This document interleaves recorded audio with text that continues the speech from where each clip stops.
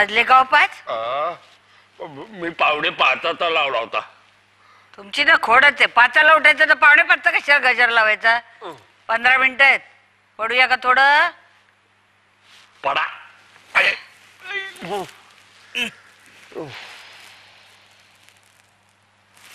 नको बाई नको. काय काय ग, काय झालं? नको बाई मेले पुन्हा डोळा लागला तर पंचायत व्हायची हो. चला मग उठा. अरे,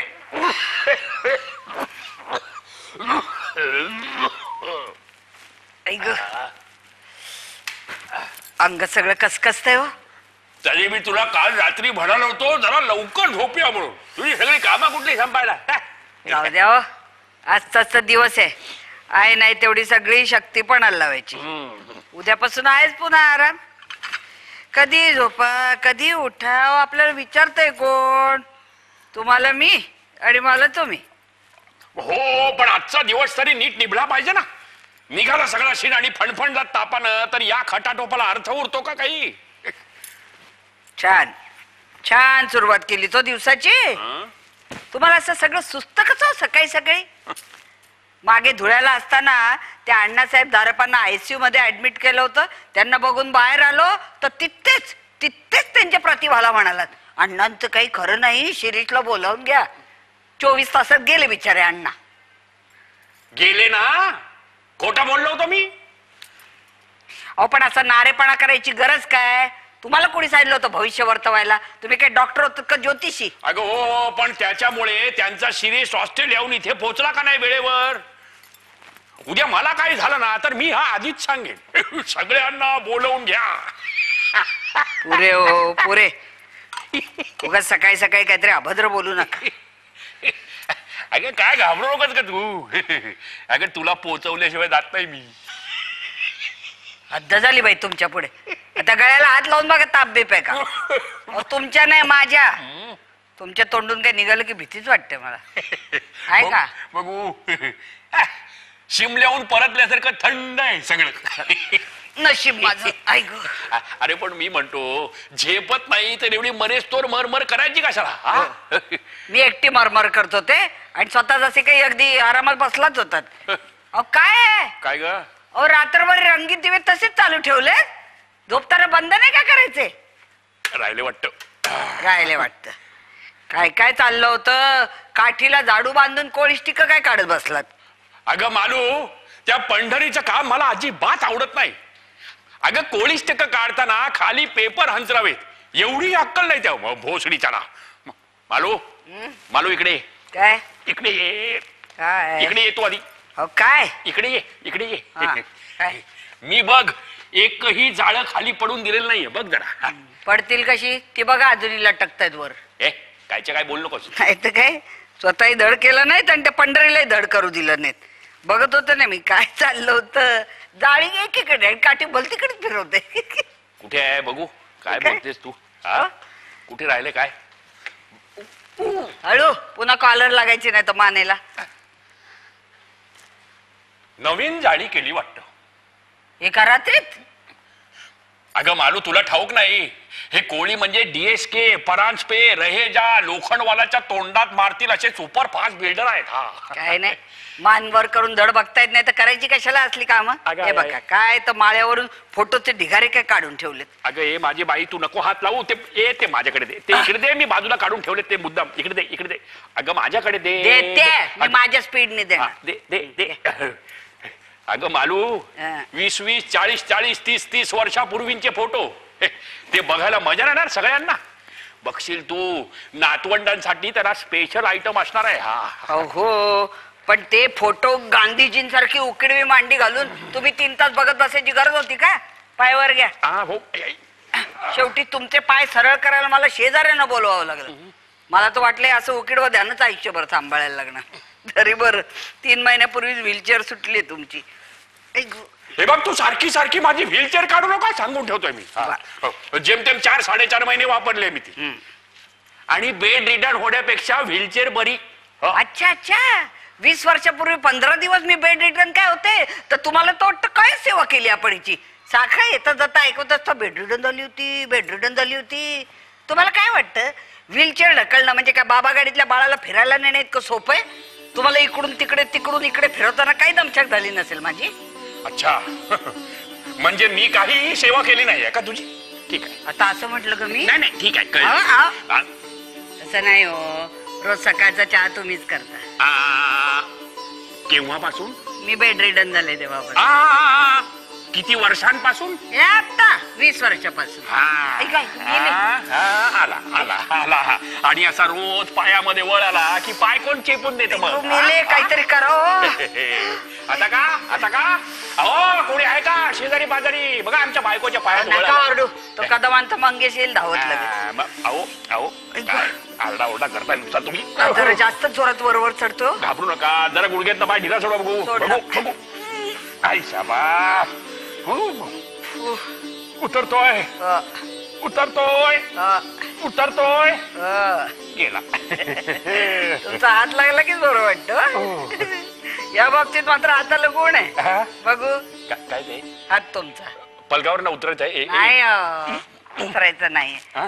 नुसता स्पर्श घ्यायचा आहे. हात बघायचा आहे. अगं काय बालू? म्हाताऱ्या माणसाचा हात कधी कोणी बघताना बघितलंय? त्याला कुठलं आलं भविष्य? हॅपी अॅनिव्हर्सरी मी आत्ता सकाळी उठलो ना तेव्हा ठरवलं होतं की उठल्याबरोबर तुला विश करून टाकायचं. शा राहिलं. जाऊ द्या हो. होतं असं कधी कधी शा एकत्र म्हणूया? शा काय बसलाय शाशा करताय म्हणा एकत्र म्हणा. म्हणा. बर happy fifty 50th anniversary Baalu. अगं बघता बघता पन्नास वर्ष झाली ग. बघा ना पन्नास वर्ष साथ दिलीत. अशीच कायम राहू द्या. ते बघू. हा? नाही म्हणजे तुझ्यापेक्षा एखादी सुंदर नाही भेटली तर ठेवून घेईन तुलाच. माझ्यापेक्षा सुंदर मिळेल हो. पण आपल्या एका डोळ्याचं मोतीबिंदूचं ऑपरेशन झालंय बाईसाहेब धड दिसली पाहिजे ना. बालू बालू तुला एक गंमत सांगू? हा. म्हणजे आता सांगायला हरकत नाही. अगं जेव्हा तुझं स्थळ आलं होतं ना सांगून तेव्हा आमची आई अण्णांच्या मागे सारखी लागलेली. अहो त्या स्थळाची नीट चौकशी करा. त्या स्थळाची नीट चौकशी करा. स्थळ म्हणजे मी?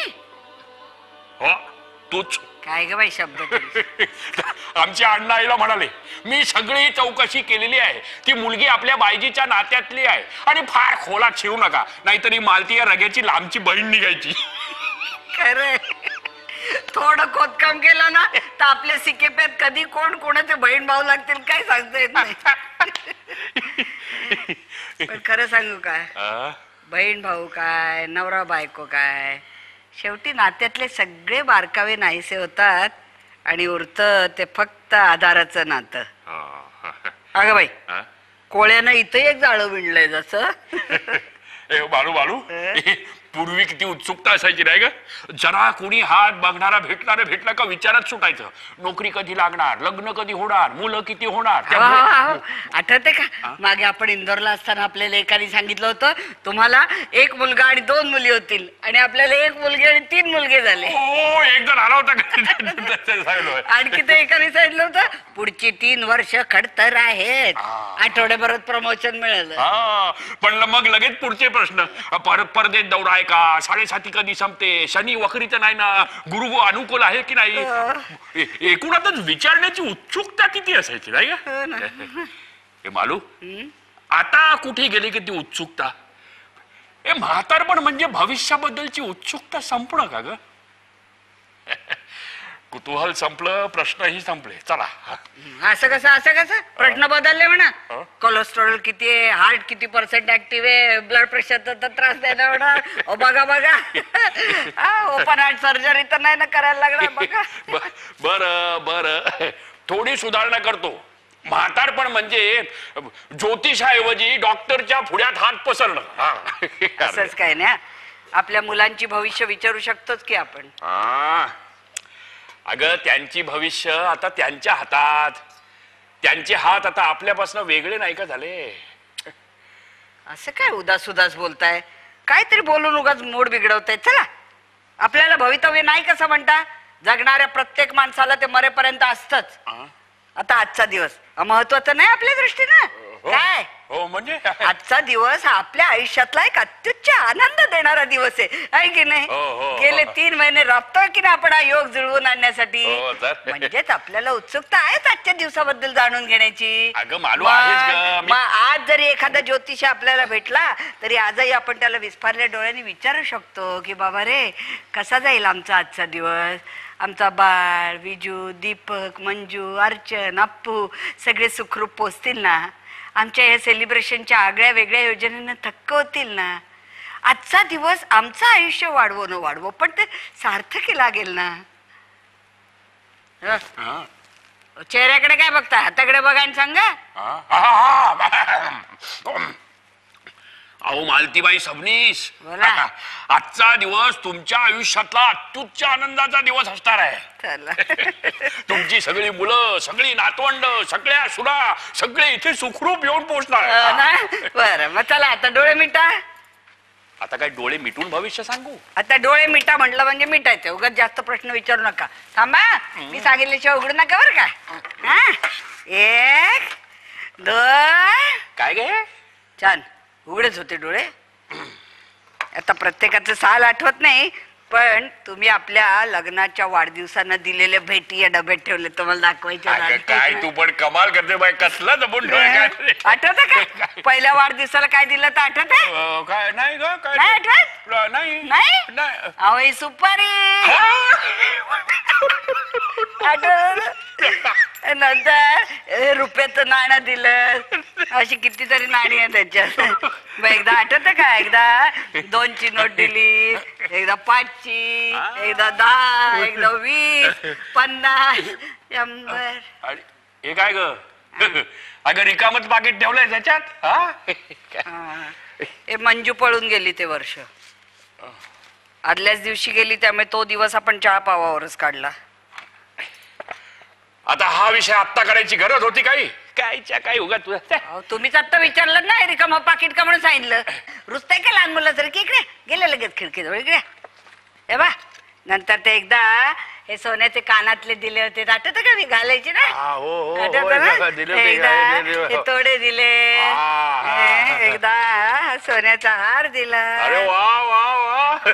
हे काय ग मालू? हा? अगं वाढतच गेलं की ग आपलं प्रेम. प्रेम नाही. इन्कम वाढत गेलं म्हणा. अगं आता इन्कम वाढलं की बरोबरीने प्रेम सुद्धा वाढतच की काय? ना? असंच काय नाही माझं. आता आज काय? फुटकी कवडी तरी दिलीत का मला? पण मी बोलले का काही खरं सांगू? हम्म. आज पाय चेपलेत ना हीच आजच्या दिवसाबद्दलची तुम्ही मला दिलेली भेट. काय हो? हो. आज आपण आपल्या पोरांना देण्यासाठी एवढ्या गिफ्ट आणल्यात त्यांना आवडतील ना?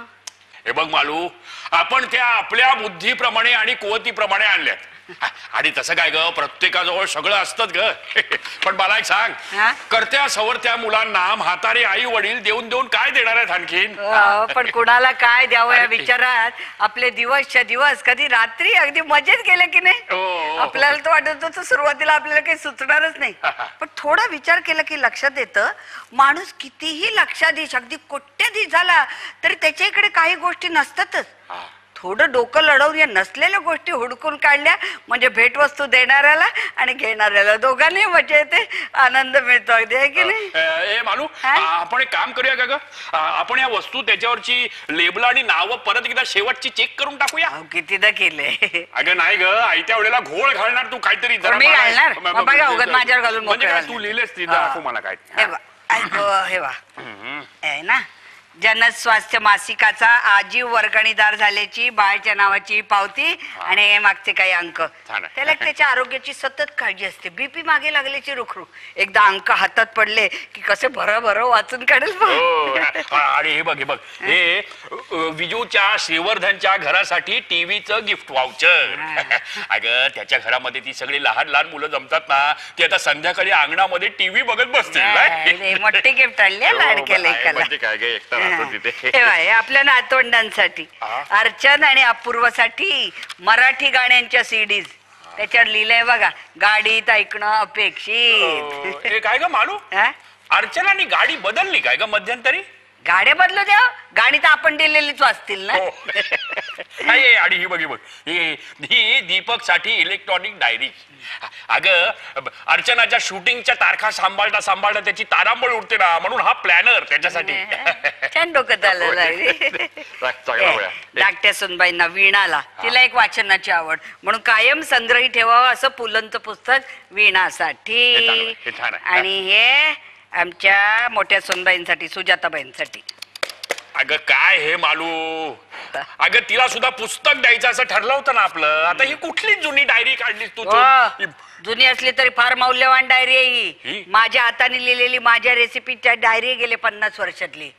नाही त्याच्यावर लिहिलेलं नाही पण हे वाचून निदान चांगला स्वयंपाक करणं अपेक्षित. ते जरा कठीण अहो, आपल्या लग्नाच्या पंचवीसाव्या वाढदिवसाला तुम्ही मला सोन्याचा सेट दिला होता आठवत पहिल्यांदा सोन्याचा सेट दिला होता हो, हो, एक हा? तो मी आज मंजूला देते बर का बर का आणि ही सोन्याची साखळी अखिलेशसाठी अहो जावई पहिल्यांदा घरी येतोय दहा वर्ष झाली हे ब- हे काय ग मालू? हा. हे- हे तुला काय वाटतं? या बाळानं त्या दीपकला त्याच्या गरजेच्या वेळी पैसे द्यायला हवे होते नाही का हे एवढ्या पैशांचं करतो काय का हा बाळा? अहो पैसे असण्या नसण्याचा देण्याच्या वृत्तीशी काही संबंध नाही. याला सुरुवातीला चांगली नोकरी नव्हती म्हणून हालाखीत दिवस काढले. त्यामुळे ह्याच्या मनातनं सतत असुरक्षिततेची भावना. आता रगड कमवतोय चांगली नोकरी आहे. पण हातातनं सुट्टायत का पैसे? मग देणार कुठून तो दीपकला? अहो पण हे एवढं समजून घ्यायला वेळ आहे कुणाकडे? हा? माझ्याकडे आहे. हा? मला आहे. आत्ताच सांगते. सगळ्यांचे देखत मालू तू हे बोलू नको मालू तू ते बोलू नको म्हणाल तर खबरदार. नाही माझ्या हौसेनं सगळ्यांना मी खाऊ पिऊ घालणारे सगळं ठीक आहे. पण नुसत्या जेवणावळींसाठी नाही घातलेला आजचा घाट. या निमित्ताने सगळ्यांना समोरासमोर एकदा बसवायचंय. काही जाणून घ्यायचंय काही जाणवून द्यायचंय एकेकाला. फार झालं आता. नाही नाही हे ठीक आहे हे सगळं चांगलं आहे चांगलं आहे उत्तम आहे. पण मालू तू सुद्धा जरा एक गोष्ट लक्षात ठेव.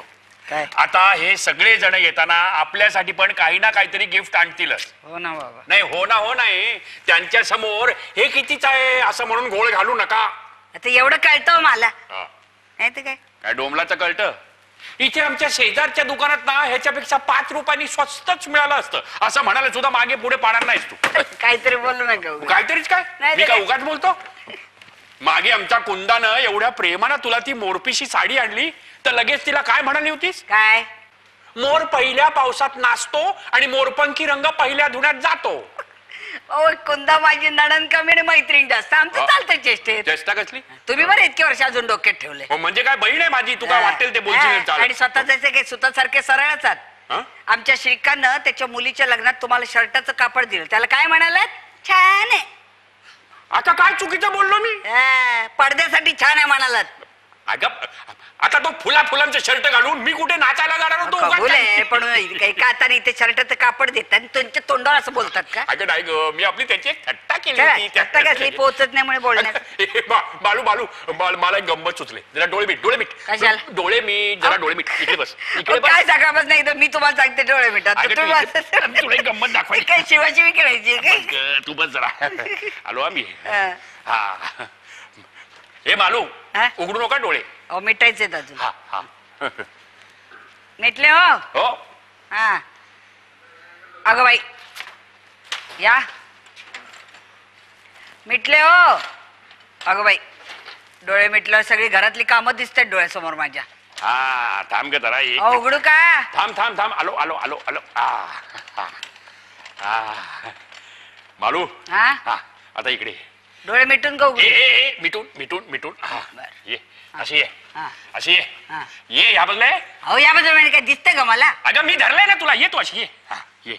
ये अशी ये. हा. शाबास. ये. हा. आता आता बस खाली बस. खाली बसू? हो, हो. अहो, पाडता बिडता का काय मला? अगं बस म्हटलं की बसायचं. बस खाली बस खाली बस खाली बस. हा, खाली बस. अहो, काय? अहो, मला काय तुमच्या व्हीलचेअर बसत मला काय झालंय? अगं अं? अगं तू मला या व्हीलचेअर वरती बसून मागे साडेचार महिने सगळीकडे फिरवून आणलंस ना? आता तुला या व्हीलचेअर वरती बसून फिरवल्याखेरीज माझी त्या ऋणातून मुक्तता नाही. सूड घेताय का परत फेड करताय? अगे नाही अगे नाही. हे बालू हा? बघ. आजच्या दिवसाची भेट म्हणून मी तुला ह्या व्हीलचेअर वरती बसून आपल्याच घरातल्या ठिकाणांची सैर घडवणार आहे. चालेल? थांब नीट बसू नीट बस नीट बस. हा. तर मालू हा. हे आपलं घर. गुलमोहर दोनशे बावन्न सहकार नगर पुणे नऊ. ए तू खिडकी बाहेरचा गुलमोहर बघितलास? हे घर बांधलं त्या वर्षी लावला होता आता बघ गच्चीच्या वर गेला एकदम. केवढं वाढलं कळलं पण नाही. हा. आणि ही मालतीबाई सबनीस यांची बेडरूम हा मागे दोन ज्या बेडरूम आहेत त्या मुलांच्या आहेत पण त्या सध्या बंद असतात बरं. हा. आणि इकडून या बाजूनी असं जाऊन हा. इथे असं वळलं ना. या बाजूला हा. की मग येतो आपला रघुनाथ भास्कर सबनीस यांचा दिवाणखाना हा. मालू अगं आज बघ कसा धुवून पुसून लख करून टाकलाय तो. मग कष्ट पडतात. हा पण थोड्याच वेळात आपली मुलं सुना नातवंड येऊन हे हे हे सगळं विस्कटून टाकणार आहेत. विस्कटू देव हक्कच आहे त्यांचा. हे हे मालू हा? हे हे कोपऱ्यात बघितलंस का? काय? हे रघुनाथ भास्कर सबनीस. उर्फ भाई यांनी भरवलेलं त्यांच्या आयुष्यातील क्षणचित्रांचं चित्तवेधक प्रदर्शन.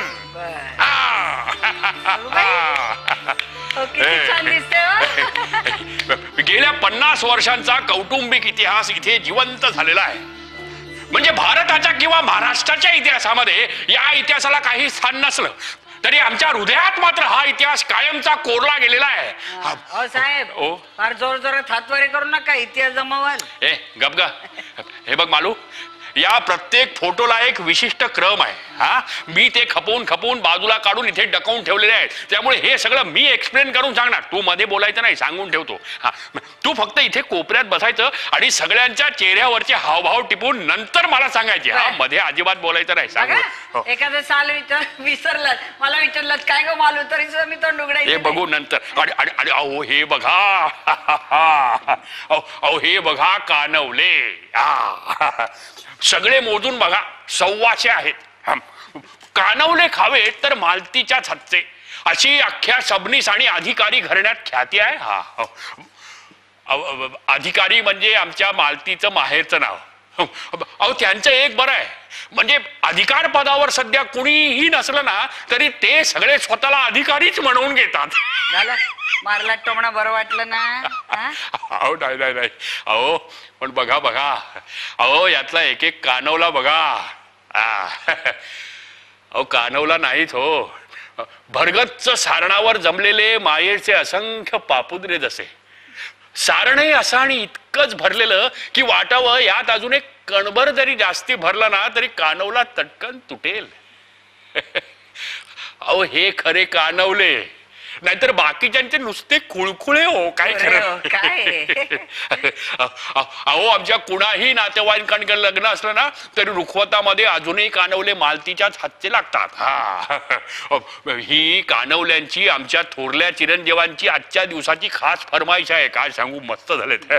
बाबा, हे काय खाताय तुम्ही? हं? तुमच्यासाठी स्वीटेक्स घातलेले वेगळे केले त्या डब्यात ठेवलेत का ते? काय?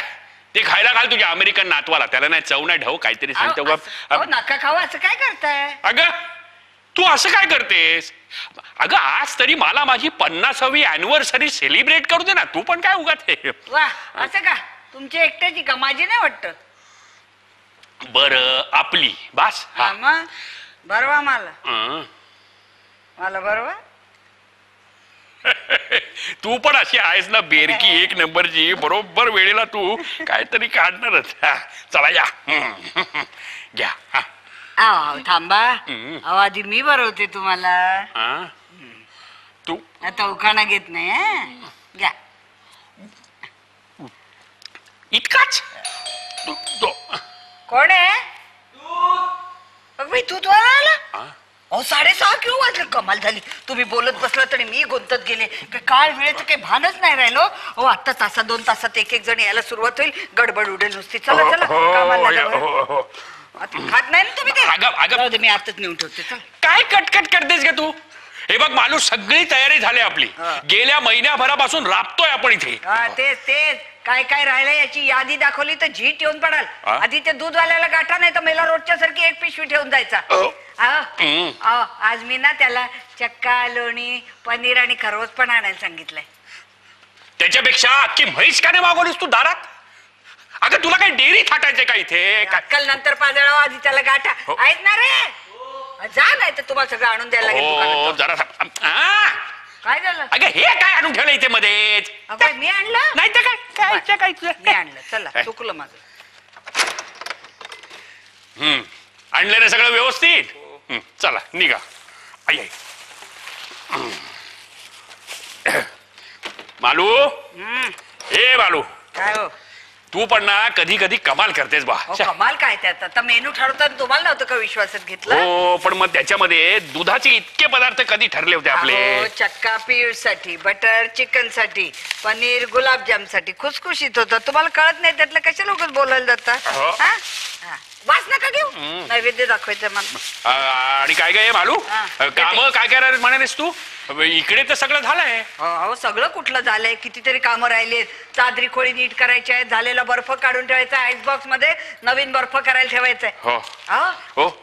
अपूर्वसाठी बिस्लरीच्या बाटल्या सांगितल्यात ना? अ, अगं त्या काल संध्याकाळी सांगून आलो मी त्या वाड्याकडे. तो आता सकाळी पाठवेल. आणि हे बाई काय? अगं त्या सोड्याच्या बाटल्या ठेव फ्रीजमध्ये त्यानंतर लागतील तर- सगळ्यांना. तर त्या कशा विसरीन? त्या तर हो. आधी. हम्म. अहो हो. सुरमई पण काढून ठेवायची ना फ्रीजर मधली? हो हो हो. अगं बाई त्या सुरमईवरून आठवण झाली. आपली मोठी सुनबाई सुजाता पन्नास वेळा म्हणेल आई कालवण मी करते म्हणून. नाही मागे तुम्ही तिला एकदा कौतुकानं म्हणाला होता असं कालवण बाप जन्मात खाल्लं नाही म्हणून. सुजाताला मी असं बाप जन्मात म्हणणं शक्य नाही. म्हणाला होतात म्हणाला होतात. मुंबईला तिच्याच घरी म्हणाला होतात. हो पण त्याचं आत्ता इथे काय आहे? अहो ते ती खरं समजून बसले बिचारी. तुमची मागे एक आणि पुढे एक बोलायची खोड तिला काय ठाऊक? हो. हा? नुसतं ह करू नका तर मी तोंडावर पडायची. तुम्ही आपले सहज म्हटल्यासारखं म्हणा. अगं पोरी. ए, हा? पोरी काय? मी तिला बेटी म्हणतो. तेच म्हणा. अगं बेटी राहू दे राहू दे. मुंबईला काही कमी दगदग होती तुझी? आज जे करेल ते मालती. कळलं? हो कळलं. काय चल. कळलं? अगं ते हे हे हे ते तिला म्हणजे ब- ते कालवणाचं सांगायचं. सांगायचं नाही. अगं म्हणजे ते आपलं नाही सांगायचं. पण ते ते- कुठल्या ते- शब्दात सांगणार ते सांगा आधी. अगं बेटी आता राहू दे. मुंबईला काय कमी दगदग होते का तुझी? आता इकडे आज करेल ते मालती. बरोबर? द्या. नाही बरोबर. हे जरा हळू आवाजात प्रेमाने सांगा. हो. हा. नाही मागे मी तिला स्पष्ट बोलले होते. तू काय तुझी बाकीची कामं असतील ती कर बाई. बाजार हाट कर मुलांचा अभ्यास घे पण माझे कालवणात नको डोकं घालूस. नाही तर काय? हिला नाही येत धड सावताळता हिचं कालवण म्हणजे तळाशी माशाचे तुकडे आणि वरती काटे तरंगतात. नाही बाकी काय नाही हो. ते खाऊन आपली माशाची आवड तुटायची. मा- मा- मालू. तुझं म्हणजे ना एक वेळ माणसं तुटली तरी चालतील पण मासे नको तुटायला. हा, मला मी मी माणसं तोडली? का तुम्ही? अगं मी मी मी काय मी मी करताय? स्वतःच्या पोरीशी एक नाही दोन नाही तब्बल दहा वर्ष अबोल धरलं.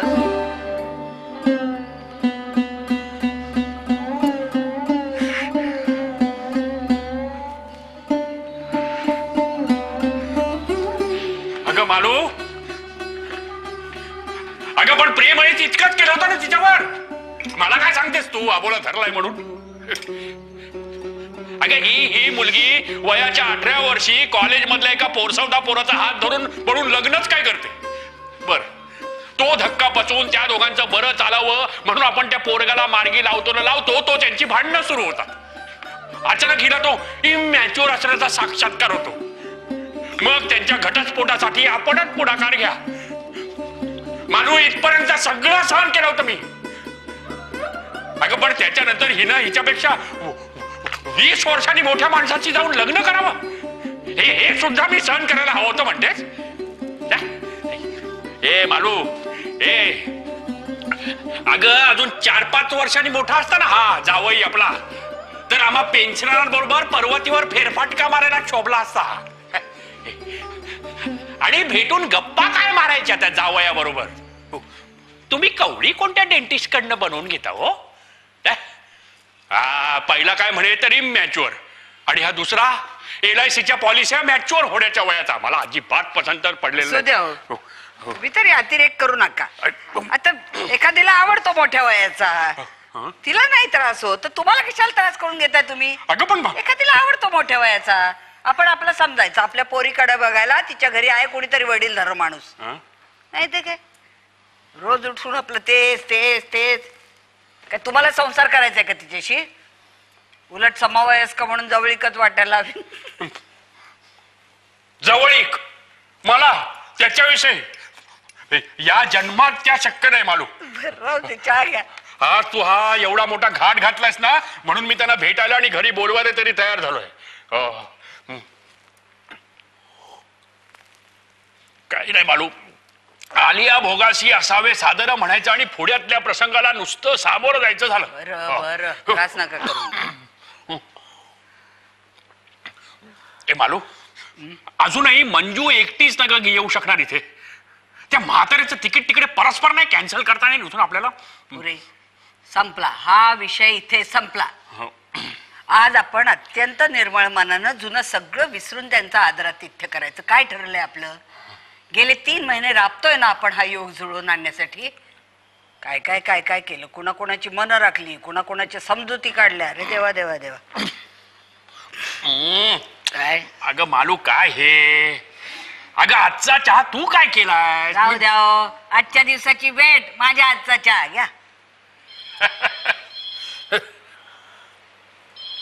बरं आहे बरं आहे हा. फोन घ्या. हं? फोन वाजते फोन. हा हो घ्या. हो हो हो हो हो.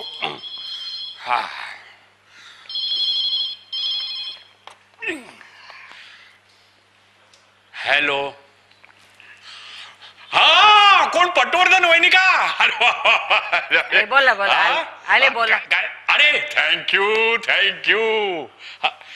अहो नाही नाही नाही. वाटत नाही पण वयाची पन्नाशी केव्हाच उलटली माझी? हा. काय बोलताय? हा. फोन या कानाला लावा. काय- काय या? कानाला लावा फोन. काय- काय बोलताय? हॅलो? काय काय म्हणाला तुम्ही?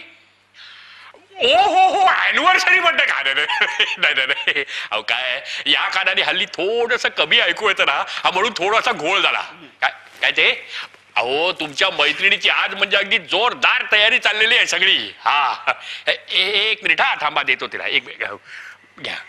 हॅलो अहो मला जाऊ दे. हा. हा. आई. हॅलो सुमन. हा, बोल. अहो हे लवकर आटपा जरा. हा. तासन तास बोलत बसाल नाही हा थँक्यू थँक्यू अगं काय विचार नको गडबड उडाली नसती. आत्ता तासा दोन तासात एक एक जण यायला सुरुवात होईल.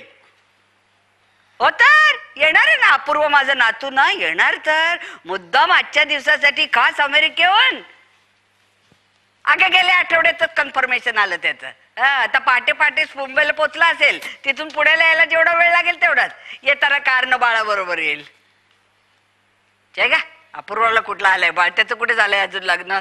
उलट आपूच माझ्या आमच्या बाळाचं बाळ आहे.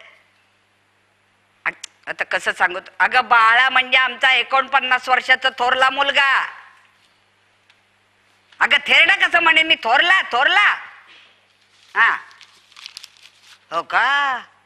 नाव त्याचं निशिकांत आहे. तूच सांग आता माझ्या मुलाचं नाव मला. अगं पण आम्ही त्याला लहानपणापासून बाळा म्हणत आलो ना. मग किती मोठा झाला तरी आमच्यासाठी बाळाच. हो तोच. हा अगं बाई हो हो. तुझ्या भाचीबद्दल बोलली होतीस तेच ना अपूर्वसाठी?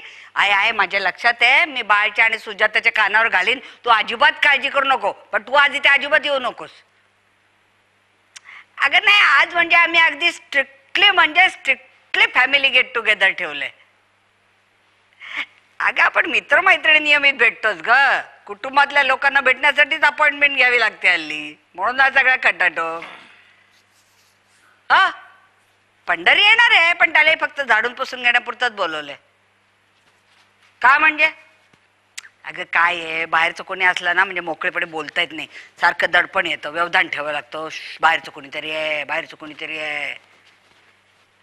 नाही त्याचा पंढरी आमच्या फॅमिलीतला झालं असं म्हणाले होते मी. पण काय आहे? मी हे आणि पंढरी अशी आमची एक फॅमिली होते आणि मी हे आणि आमची मुलं बाळा अशी एक वेगळीच फॅमिली होते की नाही? छे ग पंढरीचं खासगी आम्ही आमच्या फॅमिलीला कशाला सांगू? ही काही बोलायला लागली हो आता.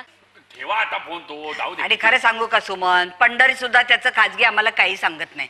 अगं बरोबरच आहे त्याची स्वतःची एक वेगळी फॅमिली आहेच की. बघ ना अगं कुटुंब व्यवस्था ढासळत चालली ढासळत चालली असं आपण एकीकडे म्हणतो पण प्रत्यक्षात बघ ना कितीतरी फॅमिली अजून शिल्लक आहेत है की नाही? अ, बस आता काय विचारू नको. ठेवते हा? हा. ही सुमन आहे ना प्रश्न विचारून विचारून हैराण करते नुसती. अहो, पण टाळावं तर भीती वाटते. कशाची? हेच. उद्या हिचा प्रश्न विचारणं थांबलं तर.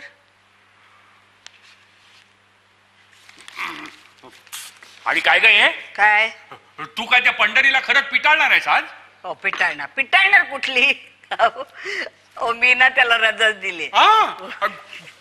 अहो काय आहे? सगळी तयारी झालेली आहे. फक्त फोडण्या घालायच्या शिल्लक आहेत आणि एवढे दोन दोन सुना येतात. वाढायला झाकपाक करायला मदत नाही करणार? अगं पण मग भांडी कोण घासणार आहे नंतर? अहो तसे सगळ्याचे दोन दोन सेट्स काढून ठेवलेत मी. आणि लागलं तर अपूर्व आहेच. त्याला आहेत म्हणे अमेरिकेत पेटा विसरण्याची सवय. धन्य हो बाई तुझी. अगं तो मुलगा एवढ्या लांबून इथे सेलिब्रेशनसाठी येतोय का प्लेटा विसरायला तू काय आहे काय आहे परदेशात नोकरी करून थकून बागून आल्यानंतर एकट्यानं विचार करायला लागतं सगळं. इथे चार लोक गाणी म्हणत गप्पा गोष्टी कर चार प्लेटा विचारले तर काय हरकत आहे? अगं एवढा मोठा इंजिनियर झालेला मुलगा तो त्याला काय भांडी घासायला लावा हे बघा तो जो इथं येतोय ना तो आजी आजोबांचा लाडका नातू म्हणून इंजिनियर म्हणून नाही. तुम्हाला कळत कसं नाही हो? त्याला सतत ऍक्टिव्ह ठेवला पाहिजे. नाही तर माहितीये ना मागच्या सारखं कसलं पुस्तक डोळ्यासमोर धरून बसायचं. दिवसभर काही चाललं नाही वळलं नाही काही नाही काही नाही. नाही तर तो एक टीव्ही डोळ्यासमोर. म्हणून तर मी टीव्ही आत नेऊन ठेवलाय. तुम्ही पण कोणी विचारलं तर सांगा टीव्ही बिघडलाय म्हणून. फोन घ्या. फोन घ्या. हा? ओरडू नको कानाशी. या कानाने धड ऐकू येतं मला. माहितीये फोन त्या कानाला वाजतोय. घ्या?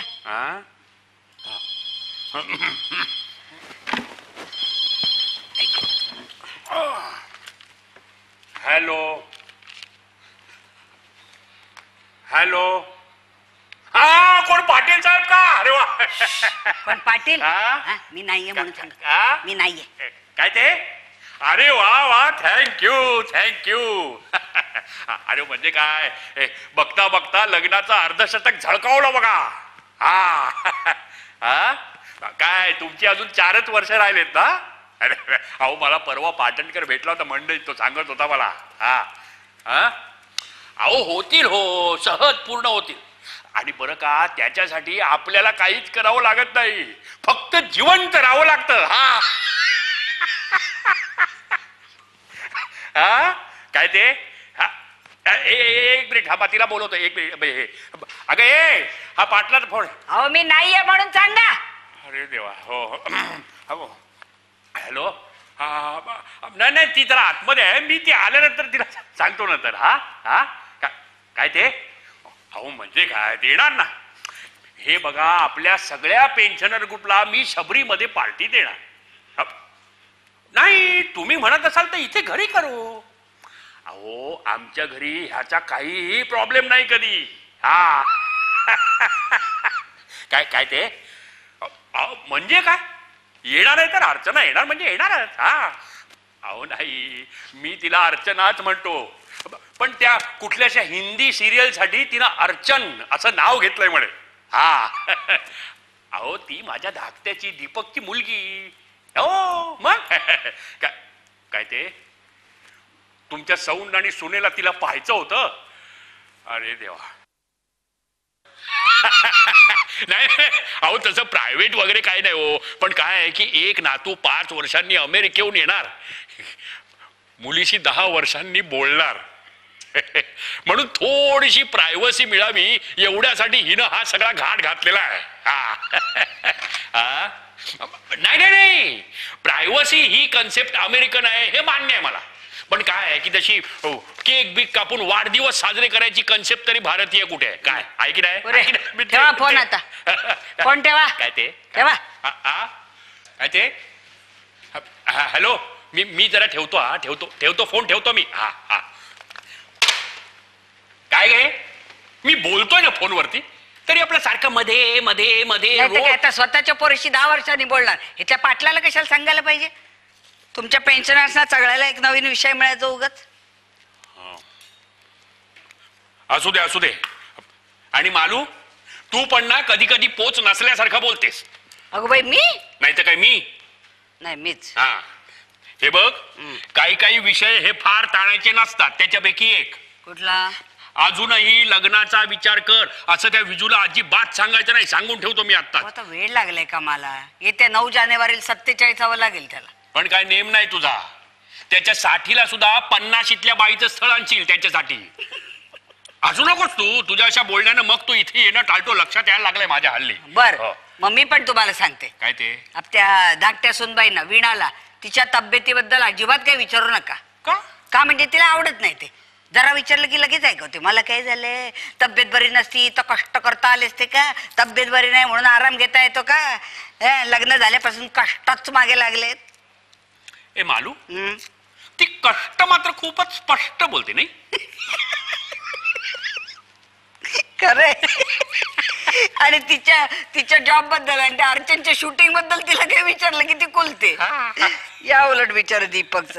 त्याला जरा काही जॉबबद्दल विचारलं की तो विसतो. फोन घ्या. फोन घ्या. हा? हे अं, माहितीये त्या कानाला वाजतंय. घ्या. हो हो, हा.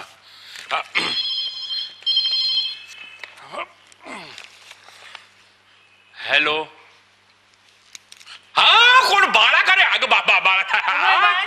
अरे वा वा वा थँक्यू थँक्यू नाही नाही नाही तू मला आधी सांग. अपूर्व पोहोचला ना रे नीट. किती वाजता आली फ्लाईट ए आणि कस्टममध्ये त्रास नाही झाला त्याला काही? हा? काय काय ते? आणि आणि मला सांग कसं आहे रे? कसं आहे? बरं आहे ना? काय म्हणाला? काय म्हणाला? काय आलं निघाले का विचार? हा, हा, हा. अरे नाही नाही नाही. तुमची आई विचारते तुम्ही निघालात का तिथून? काय? लोणावळ्यापर्यंत पोहोचला. अरे देवा अगं माझ्या बाई, काय तुझ्या- आलेच किंवा जवळ म्हणजे? काय ते? चला, आवरा आता. हा, थांब जरा एक ए बाई तुझे. हा? ए ए तुला बोलवतो ये ये. हा, ते दे इकडे दे. आणि मालू हे आवरा जरा आता. हा. सगळा कचरा झाला असा. Hello bye. हा थँक्यू थँक्यू हे बघा लोणावळ्यात फक्त चहा कॉफी घ्या नाश्ता इथे आल्यावर करा गरम गरम हा? हा. लोणावळ्याहून काय आणू? काय हो?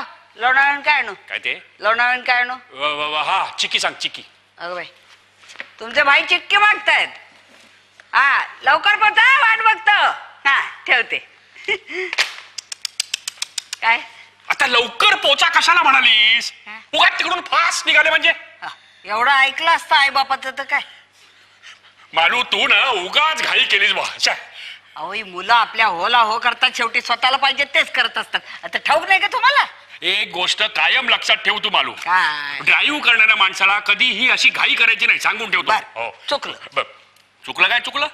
प्रत्येक वेळेला हे असं काहीतरी करायचं मग चुकलं चुकलं म्हणून त्याच्यावर पांघरुण जाऊ दे घालायची बाई. हो.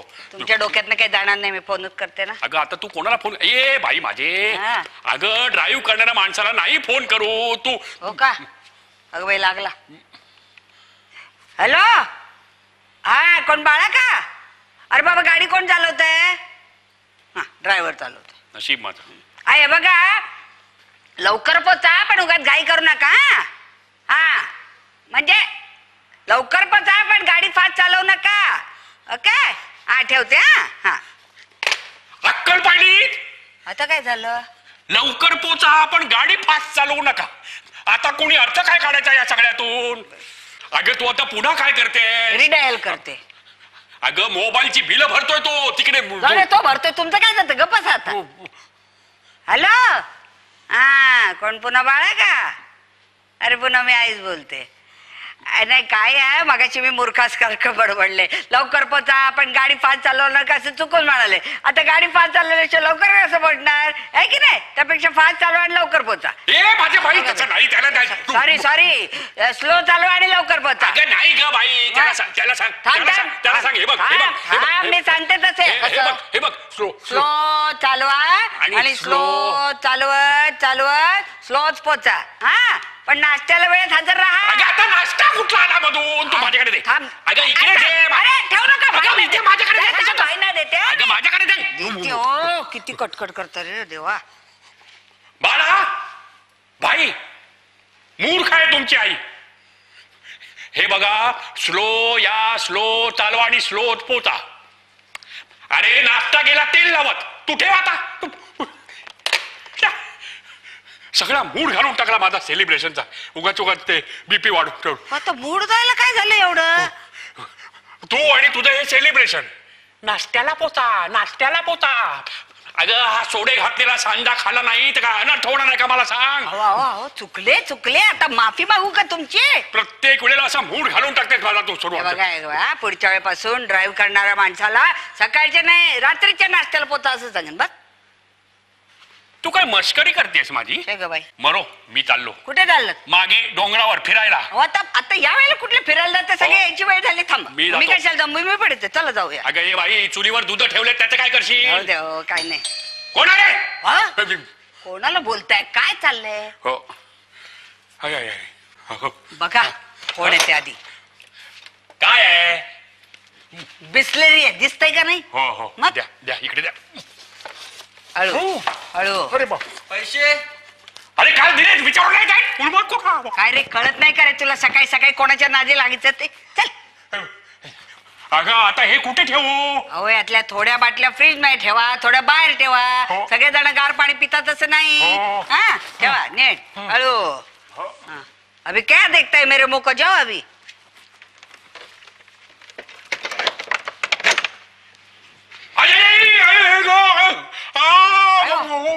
काय झालं. काय झालं.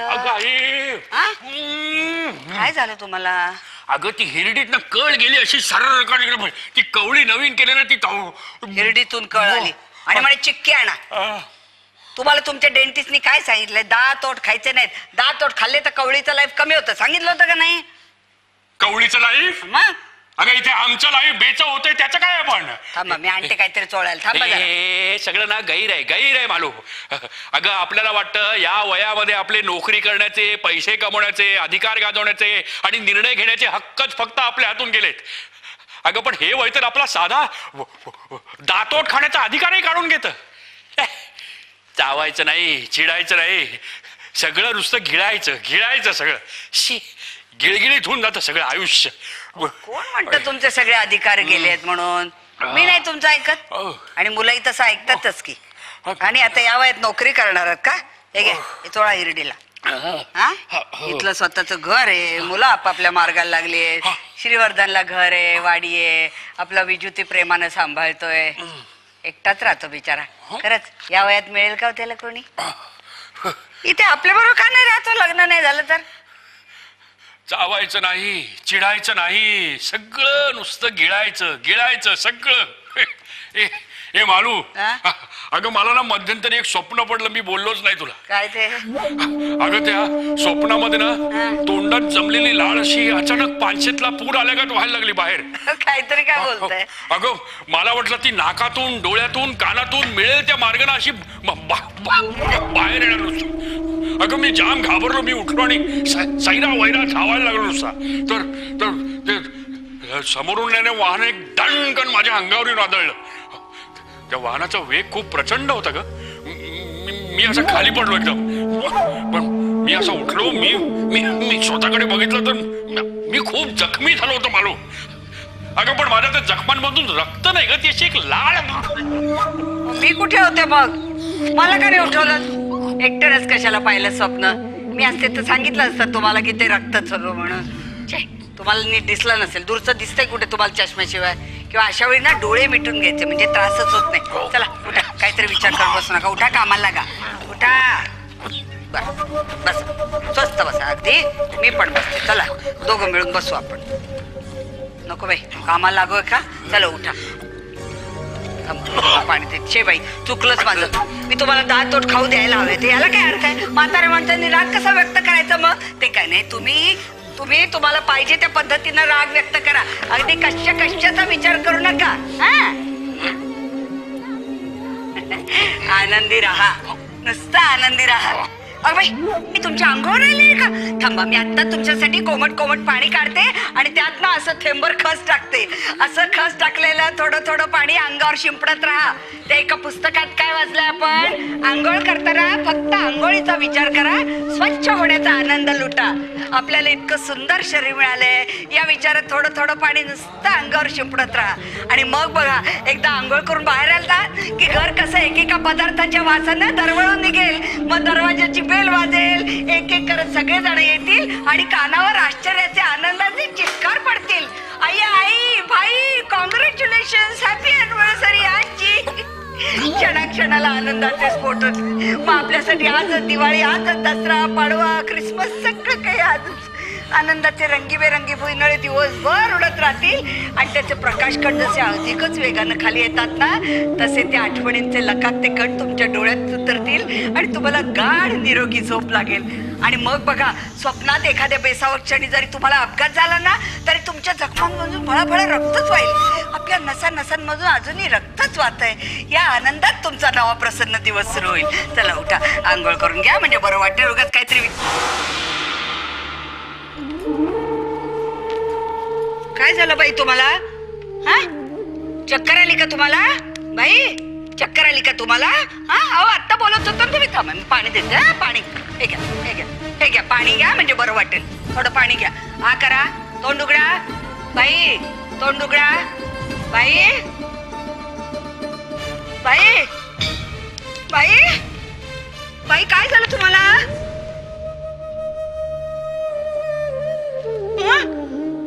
काय झालं तुम्हाला आता बोलत होता तुम्ही माझ्याशी?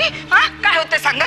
काय होतं सांगा? मी डॉक्टरनं बोलवते. हा? बोला बरं माझ्याशी बोला. काहीतरी बोला भाई बोला बरं काय बोला बोला बरं काय होतं तुम्हाला सांगा?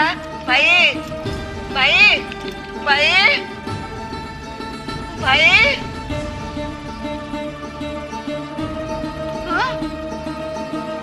काय झालं आहे आजी! आजी आजोबा हॅपी अॅनिव्हर्सरी आजोबा तुम्हाला हे पिवळ्या रंगाचं फूल. आणि आजी हे तुला. आजी मी संध्याकाळी येईन. मी आल्याशिवाय केक कापायचा नाही हा? टाटा आजोबा. अरे चा राहिलंच की.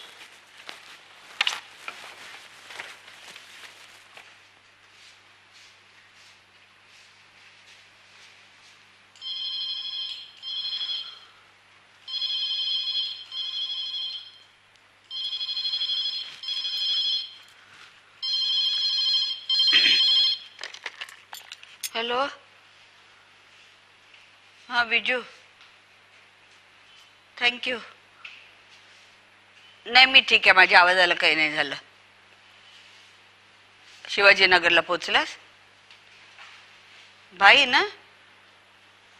आहेत. लवकर ये.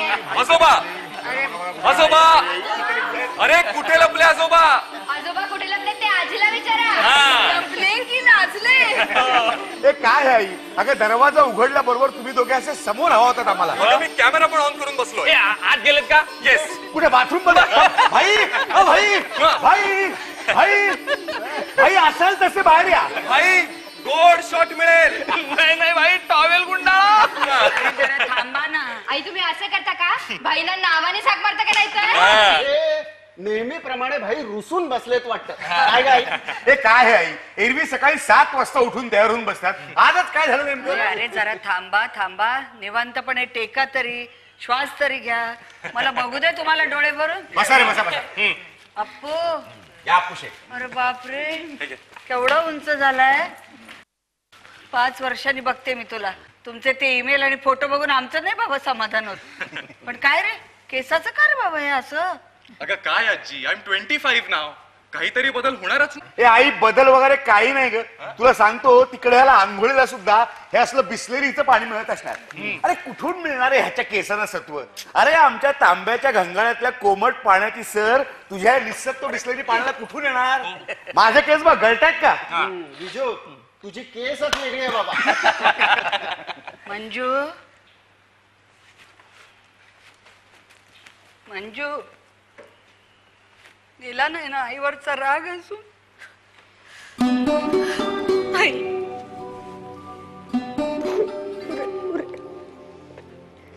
समजून तरी कुणी कुणाची घालायची आणि कशी आणि काय म्हणून घालायची? वनवास संपला की नात्याचा पुनर्जन्म झाला. हे व्हायचं होतं खरं पुरे पुरे. आज मी ढासळले तर अनर्थ होईल. कशी आहे बाळा? अगं आई कोडॅक मोमेंट चला चला चला बसून घ्या सगळ्यांना शांतपणे. हा. हो. विजू भैया अरे या या या. अखिलेशजी या. ओळख करून देतो. दहा वर्षांनी. जोडीने पाया पडूयात. आशीर्वाद. हे अखिलेशजी. कितीदा सांगितलं तुला मी विजू? हे जी जी लावत जाऊ नकोस म्हणून.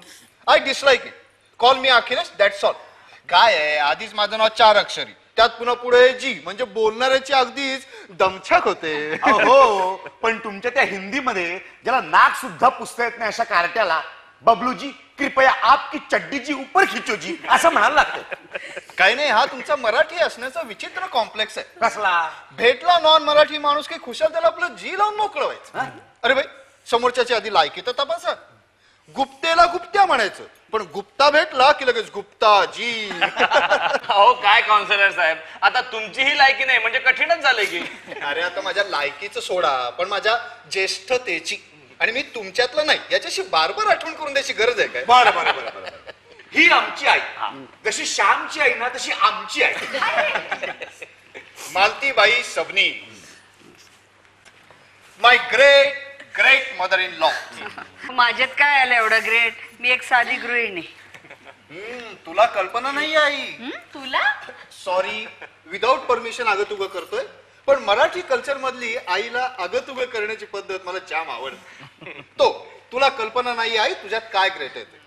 अगं सगळ्यांना असं एकत्र जमवण्याची कल्पनाच किती फॅन्टॅस्टिक आहे.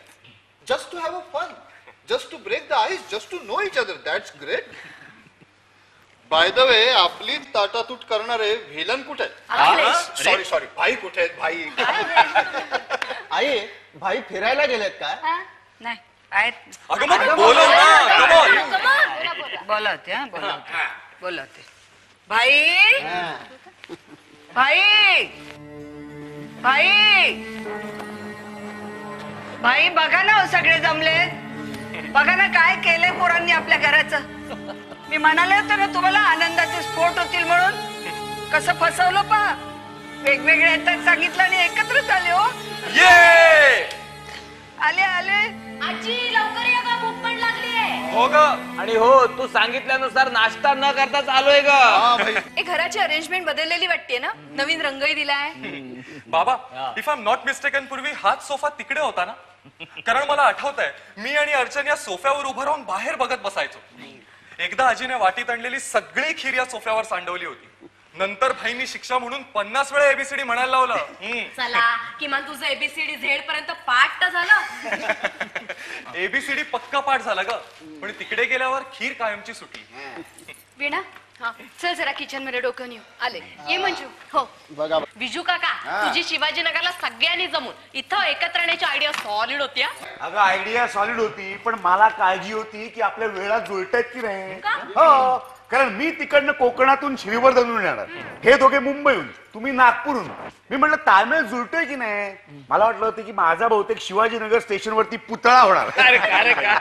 हा कारण आमची आपली कोकणातली एसटी तुमची विदर्भ एक्सप्रेस आणि ह्यांचा एक्सप्रेस हायवे. म्हणजे एसटी एसटी म्हणी एक्सप्रेस. अरे दिशा वेगळ्या मार्ग वेगळा गती वेगळी वाहनं वेगळी. म्हटलं सगळे जुळतात की नाही एकत्र? अरे भाई लेकिन मंजिल तो एक ही थी. अरे बिलकुल. दीपक काका मी तुला एअरपोर्टवरच एक्सपेक्ट केलं होतं. मला वाटलं होतं मुंबईत पोहोचल्यापासून इथे येईपर्यंत आपण सगळेजण एकत्र असणार. तुम्ही वेगळे कशाला आलात? अरे त्याचं काय झालं? रात्री उशिरापर्यंत अर्चनचं शूटिंग होतं. अच्छा. कसं येणार सांग ना. काही नाही हा. मी न झोपताही अपूला रिसीव्ह करायला गेले असते. पण मला विचारलं कुणी? अं, वहिनी अर्चनचं शूटिंग जोरात ना? अगं काही विचारू नकोस. सारखे ऑफर्स येत असतात. तिची ती परिवार सिरियली पॉप्युलर आणि अर्चना आणि सागरची पेअर सुद्धा. परवा तर घाई प्रोडक्शन मधनं फोन आला होता. हो अहो वहिनी उगाच घाई करू नका. अर्चन ने एक्टिंग का ट्रेनिंग कहाँ से लिया शी शी शी शी शी. ट्रेनिंग वगैरे कुठचं ते काय नाटक आहे का? हल्ली म्हणजे ना जरा सुंदर मुलगी दिसली ना की घेतलीच तिला सिरियलमध्ये त्यामुळे बघा बाजारातून फिरताना हल्ली सुंदर मुलींचा दुष्काळ. काका एकदम सही हा? हे मग मी अविवाहित आहे. अरसिक नाहीये काही. बाकी काही म्हणा घर एकदम बढिया हा. आहे किती साली बांधलंय? हे त्र्याहत्तरच्या आसपास. म्हणजे काय झालं की आमच्या भाईंची नोकरी होती फिरतीची. कुठेतरी एका जागी घर असावं म्हणून भाईंनी बांधून ठेवलं. म्हणजे त्यांना वाटलं की आपल्या फिरतीच्या नोकरीमुळे आम्हा मुलांच्या शिक्षणाची आबाळ होऊ नये. हो पण गेली तीस वर्ष हे घर एकाच जागी थांबलंय. उलट आम्ही मुलंच कायम फिरतीवर राहिलो. शिक्षण आणि नोकरी धंद्यासाठी हो. घर सुदैवी असतात बाबा. त्यांना पोटा पाण्याचा प्रश्न नसतो. नाही पण एकाच जागी थांबणं म्हणजे सुदैवी. असं थोडंच आहे. फिरणं सुद्धा सुदैवी असू शकतं की. आता आमचा अप्पू भारतातच थांबला असता तर वयाच्या पंचवीसाव्या वर्षी पंच्याहत्तर हजार कमवत नसता. पूर्वी स्थिर असणं सुदैवी मानलं जायचं. आता अस्थिर असणं तसं नाही काय बहिणी शेवटी तुमचं थांबणं हे कशा प्रकारचं आणि कोणत्या प्रतीचं आहे हेही महत्वाचं आहेच की. नाहीतर काय तुम्ही एकाच जागी थांबूनही जगभर फिरू शकता. काहीतरीच काय रे विजू काका. आता एकाच जागी थांबून जगभर कसं फिरणार? हा सांगतो ना तुला. आता आपल्या महात्मा गांधीजींची कीर्ती जगभर पसरायला त्यांना साबरमती आश्रम नाही परदेश दौऱ्यावरती न्यायला लागला. तो एकाच जागी थांबला. पण त्याची कीर्ती जगभर पसरली की नाही? अगं एक बाई धरणग्रस्तांच्या पुनर्वसनासाठी एकाच नदी किनाऱ्यावरती उभी राहते पण तिची कीर्ती जगभर दुथडी भरून वाहते की नाही? हा, अं, म्हणजे कोणती आपली अब- अब- नर्मदा पाटकर ना? नर्मदा नदीचं नाव. मेधा त्या बाईंचं नाव. कधी आजकाल येणार? आहे अरे बरोबर आहे. सतत ताज्या घडामोडींच्या मागे धावणाऱ्या सबसे तेज मीडियासाठी मेधाबाईंचं काम मला शिळ झालं असणार. त्यामुळे अर्चनचा असाच घोळ होणार. बरोबर. हे म्हणजे असं आहे का रे विजू काका? कस- कसं- कसं? म्हणजे आम्ही कसं एका स्टुडिओत थांबून ऍक्टिंग करतो. हा. पण आमची पॉप्युलरिटी सगळ्या देशात पोहोचते तसं अजिबात नाही बरं का. तुमची पॉप्युलरिटी सगळ्या देशात पोहोचवायला चॅनल्स वरना कोट्यावधी रुपये खर्च करावे लागतात. Okay okay okay. म्हणजे ज्यांच्या पॉप्युलरिटीसाठी पैसे खर्च करावे लागत नाहीत ती माणसं ग्रेट का? हो बहुधा. आणि ही प्रसिद्धी सुद्धा त्यांना एका रात्रीत मिळत नाही. अगं आयुष्य खर्ची घालावं लागतं. सो सॅड का? त्यावेळी मीडिया नव्हता ना विजू काका. नाहीतर त्यांनाही आमच्यासारखी झटपट पॉप्युलरिटी मिळाली असती. आणि त्यांना एकाच गोष्टीसाठी आयुष्य वगैरे खर्चावं लागलं नसतं. अगं मीडियाचा ह्याच्याशी काही संबंध नाही. विजू विजू मला वाटतं तू हिच्याशी अधिक बहस न केलेली बरी नाही तर तू कन्फ्युज होशील.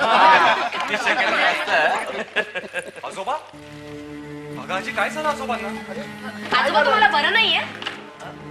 काय झालंय व्हीलचेअर अरे बघ ना रे पुन्हा व्हीलचेअर वर मागच्या सारखाच अटॅक आला सेमी पॅरालिटिक अगं कधी आला आणि आम्हाला का नाही कळलं अरे अटॅक तसं सात आठ दिवसांपूर्वी झाला. अगं मग आम्ही आलो असतो ना लगेच. अरे सुरुवातीला वाटलं weakness मुळे असेल. अ, होतील अ, बरे आठ दिवसात. बाई म्हणाली इतक्यात कोणाला कळू नकोस. आता ह्या घरात सगळेजण येतील ते सेलिब्रेशनसाठी. आजाराला बघायला नाही काय बोलणार सांग? भाई काय हो हे? एक मिनिट बर यावेळी परिस्थिती अधिक बिकट आहे. याच्या वाचेवरही थोडा परिणाम झाला. काय? हो. अगं सकाळी तर माझ्याशी व्यवस्थित बोलले फोनवर. स्लो चालवा स्लो पोचा. हो अरे रागावले माझ्यावर. मी तुम्हाला लवकर पोचा म्हणाले ना तेव्हा रागावले माझ्यावर. मग? तेच म्हणते कधी असं घडाघडा बोलतात जसं काहीच झालं नाही. तर मध्येच असं विनोबाचं माऊन नाही, पण आई ही कॉलर हा गॉगल? पुन्हा कॅटरॅक्टचं ऑपरेशन तर नाही ना? नाही पण काय आहे अं, प्रकाशही सहन होते म्हणून डॉक्टर म्हणाले सतत गॉगल घालून ठेवा. हे ठीक आहे ना भाई? हं? इतकं तर आईचं फंक्शन पोस्टपोन केलं. हो? बरोबर आहे.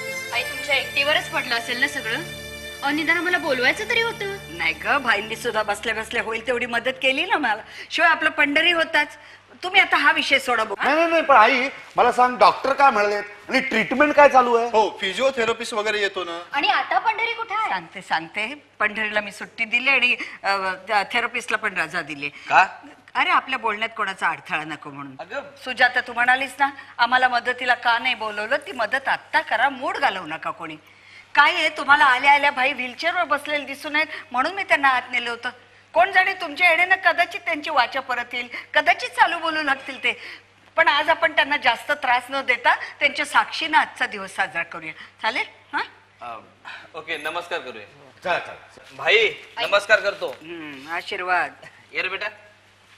भाई अप्पू. अरे बापरे वाकून नमस्कार करतोय. भाई तुम्हाला ह्या वेळेला श्रीवर्धनला नेणारच मी. आशीर्वाद हं? भाई लवकर बरे व्हा. हा. काय ग वीणा कशी आहेस? अ, बरी आहे. अर्चू? आजोबा? अर्चन तुझी परिवार सिरियल भाई अगदी न चुकता बघतो अहो भाई पुढच्या वेळेला त्या सागर सकट येईल बरं का नमस्काराला. काय रे विजू काका? उगाच. मंजू ये बेटा. मंजू नमस्कार करते.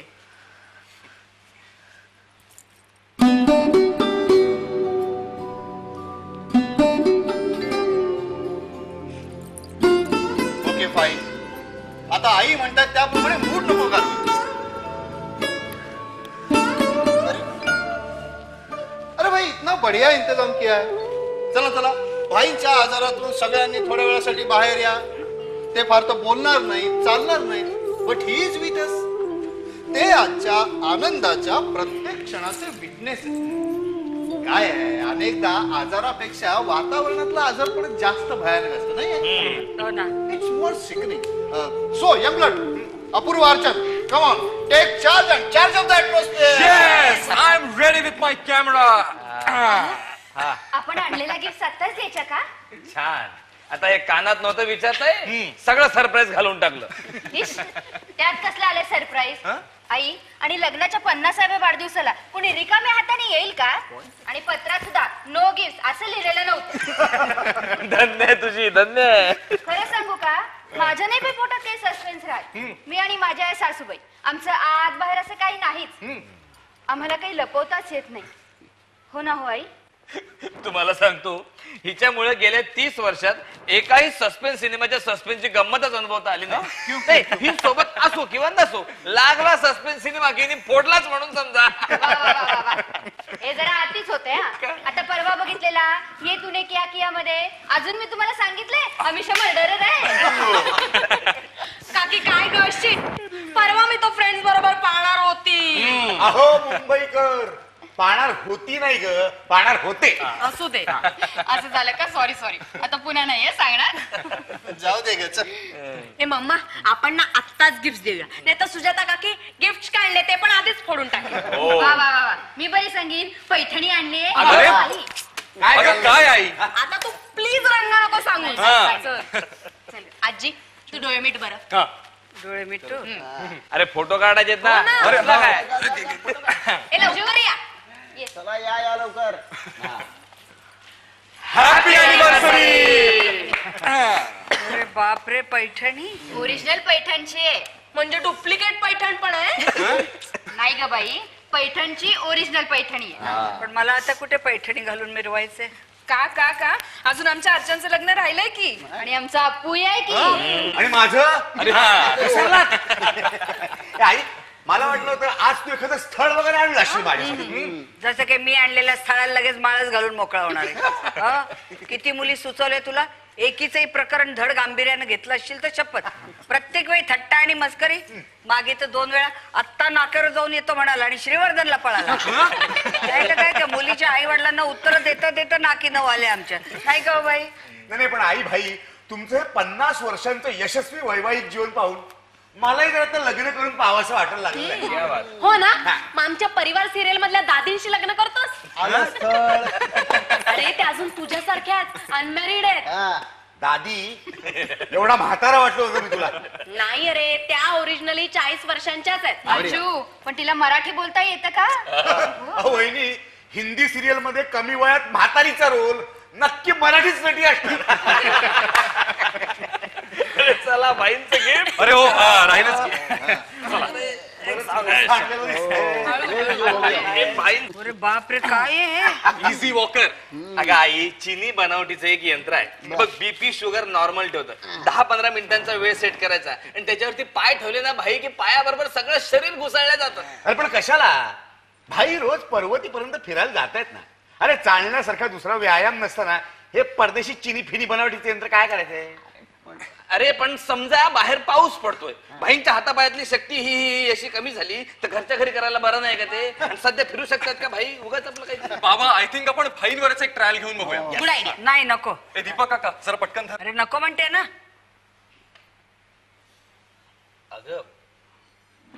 नाही म्हणजे डॉक्टरांनी सध्या नाही म्हणून सांगितलंय ना. पण मी वापरे ना कितीच आहे रे तुला काय करायचं त्याच्याशी? ए ए तुमचं झालं का दाखवून? हो, झालं. आता मी काय काय वस्तू आणल्या त्या दाखवतो. दाखव. पण आई आधीच सांगतो. मी आणलेल्या वस्तू ह्या अशा कागदात गुंडाळून गिफ्ट पॅक वगैरे करून आणलेल्या नाहीत कारण त्यात काहीही लपवण्यासारखं नाहीये. आणि वहिनी त्या सरप्राईज आहेत बरं का. अरे त्या अशा झाडाच्या फांद्यांवरती किंवा मुळांमध्ये मुक्त प्रमाणात उपलब्ध आहेत. म्हणून या शहरी लोकांना किंमत नाही आहे त्याची. असू द्या असू हा तर असा हा निसर्गाच्या सर्व गुणसंपन्न भांडारातला शुद्ध हवेतला रसरशीत वेचून वेचून आणलेला रानमेवा आहे. हे तू असं टोचून टोचून प्रत्येक वेळेस आम्हाला सांगितलंच पाहिजे का? काय रे बाबा? नाही राहतो आम्ही शहरात. हा काय आमचा गुन्हा आहे? आता काय? हा विजू प्रत्येक वेळेला आपल्याला शहरात राहण्याचा कॉम्प्लेक्स देत असतो. आता आम्ही शहरात राहतो म्हणूनच तुला मिळते नाही रे तिकडे. निरव शांतता शुद्ध हवा आणि काय तो तुझा रानमेवा नाही आता आम्ही सगळे उठून श्रीवर्धनला झालो शिप तर कुठनं मिळणार आहे तुला निसर्गाची शुद्धता? हे म्हणजे फारच होत आहे विजू तुझं. एकीकडे खेड्यात आणण्याचे सगळे बेनिफिट चुकवायचे आणि दुसरीकडे शहरात आणण्यासारखं टोचून टोचून बोलायचं? अरे तर नाही मिळत आम्हाला शुद्ध हवा. नाही मिळत आम्हाला रसशीत फळं. नाही मिळत आम्हाला निरव शांतता. मोहतात आम्हाला आजार. नाही झालाय मला डायबिटीस पस्तीसाव्या वर्षी झालाय. राहतो आम्ही शहरात. खातो आम्ही टीन फूड. असतात आम्हाला टेन्शन आई- नाही मिळत कुठल्या चांगल्या गोष्टी. मोहतात सगळे आजार आम्हाला. अहो वहिनी बोलून बोलून आजारी पडाल मला काही टोचा विचारायचं नव्हतं तुम्हाला. कळलं तुझं का? तर तुला काय अगं वेळ लागलाय का? तुला माहीत नाही का विजूची बोलण्याची पद्धत? आणि विजू तुला काय द्यायचंय ते दे देताना दुसऱ्यांची उणी दुणी काढू नको सांगते सवय. हा. अगं आई पण मी शहरी संस्कृतीची उणी दुणी काढत होतो. आता ह्याना ती टोचते त्याला मी काय करू? बघा अजून त्याच सुरू वहिनी आई, वहिनी वहिनी वहिनी बरं का. आणि मी ज्या काही वस्तू आणल्या त्या सगळ्यांसाठी आणल्या. हा, हे. बघ. हे चिंचेचे गोळे कालवणात घाला अहो, वहिनी घ्या. ही क्वालिटी तुमच्या मुंबईत मिळायची नाही. हा. ही शिकेकाई हे सोडे हे रिठे ओके. ही करवंद हे तिळाचं तेल हे जास्वंदाचं तेल. अहो, वहिनी. आता काय? हे जास्वंदाचं तेल रात्री लावलं ना. तर शांत झोप तर लागतेच. शिवाय सकाळी उठल्यानंतर तरतरी येतं बघा. बर. फक्त इतकं सांग की ते कोणी कोणाला लावायचं? ते तुमचं तुम्ही ठरवा. ह्या तिळाच्या तेलाचं वैशिष्ट्य म्हणजे ह्याने गुडघे आणि स्नायू दुखीपासून आराम मिळतो. हो. भाई तुम्हाला जर का ह्या तेलाने मालिश केलं ना तर तुमच्या त्या फिजिओथेरपीची ट्रीटमेंट झक मारते हो. असे ताड ताड ताड चालायला लागाल तुम्ही. कारण गुडघ्याच्या लवचिक हालचालीसाठी जे वंगण लागतं त्याची पातळी हे तेल अबाधित राखतं? आत्ता भाईनं मालिश करून दाखव. नाही नाही. नको. बर मग डोक्याला तेल लावून नको रे दाखव. बाबा ही काय वेळ आहे का तेल लावायची? भाई बघताय ना? म्हणजे फक्त फिजिओथेरपिस्टलाच काय ती तुमची काळजी आहे? आम्हाला नाही बाळा. त्याने काय बोललो काय तू? अखिलेशी तुम्हाला सांगतो तिकडे श्रीवर्धनला माझ्याकडून मालिश करून गेला सगळे म्हातारे नुसते तळमळत असतात हो. अरे पण हे तू मलाच का सांगतोय? नाही हो. पण ही बघा ना मला साधा हात सुद्धा लावून देतो ए विजू काका हे काय आहे? हा. हे एका खास झाडाच्या मुळ्यांपासून बनवलेलं औषध आहे. त्याच्यामुळे रक्त पातळ राहतं. हा. ते गुठळ्या वगैरे येऊन अटॅक येण्याची शक्यता कमी आणि रक्ताभिसरणे उत्तम होतं. हा तुझ्यासाठी पण आणलेला आहे. माझ्यासाठी? अरे. उशीर झाला रे विजू खूप उशीर झाला कशाला उशीर झालाय? नाश्ता करायला उशीर झाला म्हणते ती. Yes. लाग विणा घ्यायला लागा ग सगळं तयार आहे. आजी खूप भूक लागली आहे. लवकर पोह्या आणि. अगं लवकर आणा? आई जाऊ मगाशी मी किचनमध्ये डोकवले काय काय करून ठेवलं तुम्ही? काही नाही ग सगळ्यांच्या आवडीचं थोडं थोडं केलंय. अप्पू तुझ्या आवडीचे पोहे केले तर? थँक्यू अर्चन तुझ्यासाठी आणि सुजातासाठी उपमा केलाय. Great. विजू तुझ्यासाठी आणि विणासाठी दडपे पोहे केले First class. बाय. साबुदाण्याची खिचडी. बरोबर. अखिलेश तुमच्यासाठी आलू पराठा केलाय खाऊन घ्या. बढिया. मंजू मंजू तुझ्या आवडीच्या तिखट पुऱ्या केल्यात खाऊन बेटा. काय आई एवढं सगळं एकटीने केलेस तू? कमाल झाली आहे तुझी. कमाल काय त्यात? आले मी तुम्ही. नीट खाऊन घ्या सगळेजण. वा. ग्रेट आहात आई तुम्ही दोघेही खरोखर ग्रेट आहात. वॉट अ प्लॅनिंग किती झटलेत या प्लॅनिंगसाठी? काय काय करून ठेवलंय? मुख्य म्हणजे प्रत्येकाच्या आवडीनिवडी लक्षात ठेवून तो तो पदार्थ बनवलाय. हो गेल्या तीन महिन्यापासून हे काम अखंडपणे सुरू आहे. हो तीन महिन्यांपूर्वी भाईंच्या स्वच्छ अक्षरातलं पत्र आलं ना तेव्हाच ठरवलं. म्हटलं नथिंग डुईंग कोणत्याही परिस्थितीत हा प्लॅन सक्सेसफुल झालाच पाहिजे. जस्ट इमॅजिन अमेरिकेत आजोबांच्या अक्षरातलं पत्र आल्यावर मला काय वाटलं असेल? At the age of seventy five how can you have such a neat and clean handwriting मी नंतर भरपूर वेळ खिडकी बाहेर बघत उभा होतो. त्या निळ्याशार आकाशाच्या स्क्रीनवर फाईनची अक्षरं अशी सुपर इम्पोज झाली होती. इमिडिएट ट्रॅव्हल एजंटला फोन केला आणि बुकिंग सांगितलं. बढिया. अप्पू मला अजूनही आठवतं भाई आम्हाला लहानपणी बोरूनी कित्ता गिरवायला सांगायचे. अरे खाताना घाणेरड्या आठवणी नको काढू रे.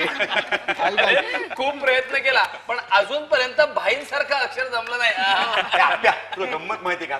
भाई ना तेव्हा मला बोरूने गिरवाला बसवायचे. मी नेहमी सटकायचो. मग भाई आधी मला तासायचे मग मला बोरू तासायला लावायचे. आपल्या घरात बाईंचं अक्षर फक्त मंजूच्या हातात उतरलं. हो पण भाईंच्या अक्षरातलं पत्र मात्र माझ्या हाती नाही लागलं. म्हणजे? तुला पत्रच नाही पोचलं? नाही पत्र पोचलं.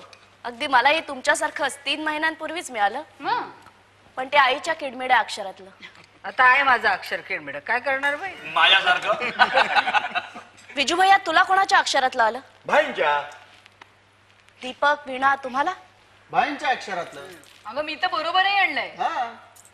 बाळ दादा सुजाता वहिनी आणि अपूर्वलाही भाईंच्याच अक्षरातलं. अखिलेश येतही काही लक्षात? फक्त आपल्यालाच आईच्या अक्षरातलं म्हणजे मला आणि माझ्या नवऱ्याला इथं बोलवण्यासाठी भाईंमध्ये विलिंगनेस नव्हताच. फक्त आईच्या आग्रहाखातर आज आम्हाला इथं बोलवलं गेलंय. फक्त आईचं मन मोडू नये म्हणून ते तयार झालेत. अजूनही माझ्यावरचा राग गेलेला नाहीये त्यांचा. तसं नाहीये म्हणजे? आम्हाला नको हा बळजबरीचा रामराम. आई मी तुला निक्षून पुन्हा पुन्हा विचारलं होतं. आमच्यावरचा राग गेला असेल तरच बोलवा. का असा बोलून मुद्दाम अपमान केलात आमचा? अगं तुझ्या मनाचे खेळ येते भाईंना त्या दिवशी असंच बरं नव्हतं बरं नव्हतं बरं नव्हतं. पुरे करा का खोटं बोलणं. मलाच लिहिताना बरे आजारी पडले. चल चल Akhilesh. I am not interested in this celebration we are unwanted year उठ म्हणते ना उठ इथून. चल, उठ. मंजू. पण थांब. आज या घराबाहेर पडेन ती त्यांना भेटूनच. कळलंय मला सगळं. वाचा गेली आहे काय? अचानक पुन्हा अटॅक आलाय काय? भाई? भाई? भाई कळलंय मला सगळं. कळलंय. ओळखलीत मी तुमची सगळी आजारपणाची नाटकं. माझ्याशी बोलायला लागू नये म्हणून व्हीलचेअरवर बसून मौन धारण करता. अहो पण माझ्यावरच्या रागाची इतरांना कशाला शिक्षा देता? ही निघतेच ना मी. माझी पाठ वळली की तुमचं हे मौन सोडा व्हीलचेअरला लाथ मारा आणि खुशाल बाहेर जमलेल्या तुमच्या लाडक्या मुलांबरोबर धिंगाणा घाला गाणी म्हणा नाचा. वा रे माझे जन्मदाते. जन्म देऊन मोकळे झालेले जन्मदाते. मंजू. काय जाणता हो तुम्ही मला? काय जाणता? माझ्या मनात तुमच्याबद्दल काय आहे याची काहीच कशी जाणीव नाहीये हो तुम्हाला.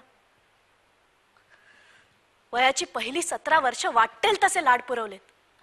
आजारपणात जेवेन तर भाईंच्याच हातून. नवीन कपडे घ्यायला जाईन तर भाईन बरोबरच प्रवासात खिडकी इतकीच भाईंच्या शेजारची जागा महत्वाची. वाटायचं जगातला सगळ्यात शूर माणूस म्हणजे माझे भाई. सगळे हट्ट पुरवू शकणारी व्यक्ती म्हणजे भाई. सगळ्या प्रश्नांची उत्तरं ठाऊक असणारा बुद्धिमान कोण? तर भाई भाई आणि भाई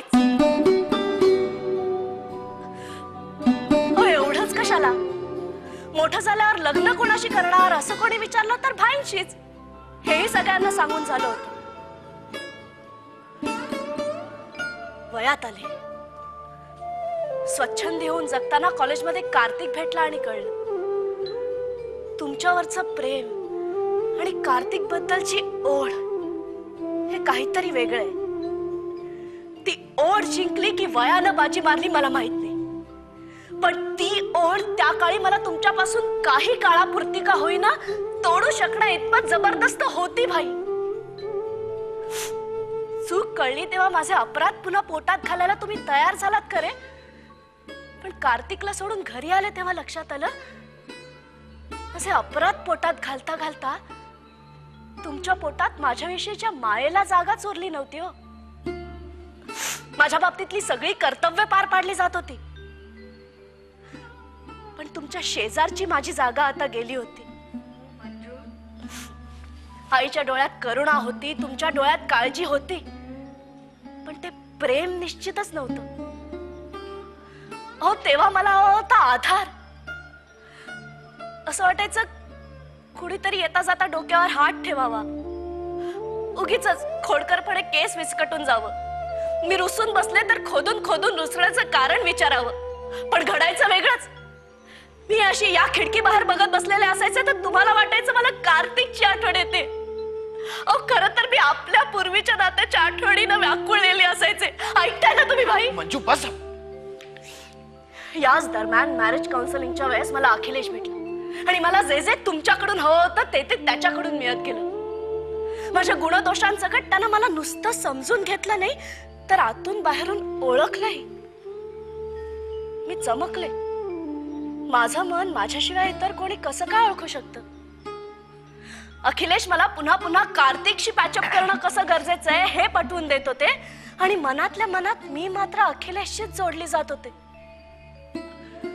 अखिलेशला मी लग्नाचं विचारलं तेव्हा त्यानं मला आधी काय विचारलं? ठाऊक आहे भाई. तू पप्पाच डॉटर आहेस का? मी आश्चर्यानं बघितलं तर म्हणाला तरीच. तरीच माझ्यासारख्या वडिलांच्या वयाच्या माणसाच्या प्रेमात पडलीस. या अखिलेशनं माझं तुमच्यावरचं प्रेम ओळखलं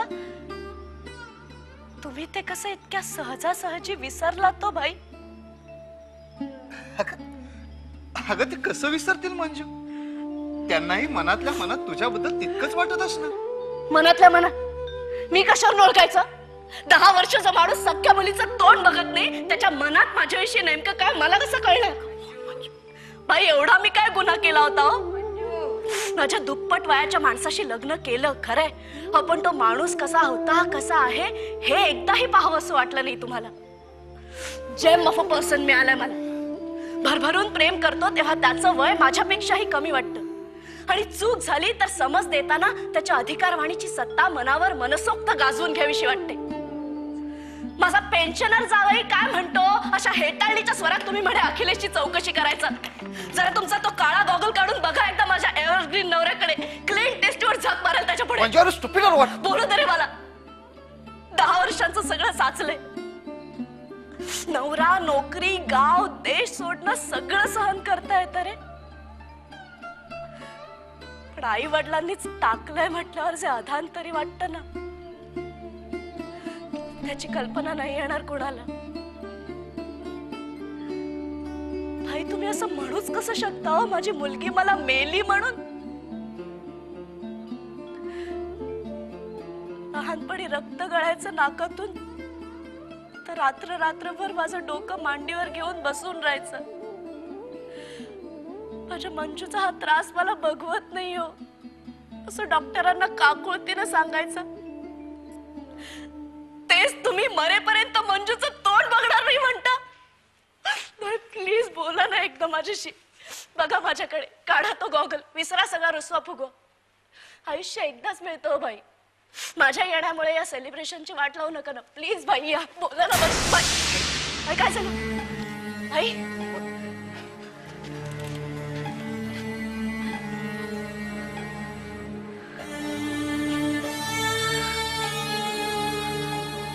काहीच नाही केलं. माझ्यामुळे काही नाही झालं. मी नाही काय केलं. तुझ्यामुळे काही झालेलं नाहीये. मी काही नाही केलं. तुझ्यामुळे काही झालेलं नाहीये. प्लीज बी कॉय हे बघ मला वाटतं ते ते आधीच कधीतरी गेलेले असावे. आधीच म्हणजे कधी? आता ते मला तरी कसं कळणार? तुला माहिती असायला तुझ्याकडे सगळ्या प्रश्नांची उत्तरं तसं म्हणाला होतास ना तू एकदा. काय झालं ग मंजू? माझ्याशी बोलायला लागू नये म्हणून तर नाही ना रे गेले ते. आई? मंजू तसं काहीही झालेलं नाहीये. Be normal please be normal हे बघ मी मी बाहेर सगळ्यांना सांगतो. काय करतेस मंजू? ते आधी होते तसेच दिसत आहेत ना? माझ्यामुळे काय झालं? आपण जाऊया इथून. थांब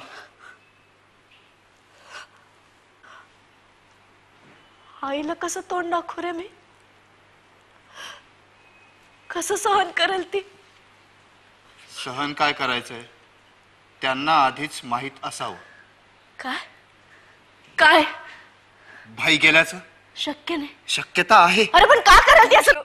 तिला सा- तिला म्हणा पुरे आता नका त्यांना जास्त त्रास देऊ. आई एकदाच बोलून घेऊ दे तिला होऊ दे मोकळं. अरे पण मंजू आपण इथून बाहेर जाऊया. आपल्याला काहीही कळलेलं नाही ओके? आर यू ओके दरवाजा उघडू.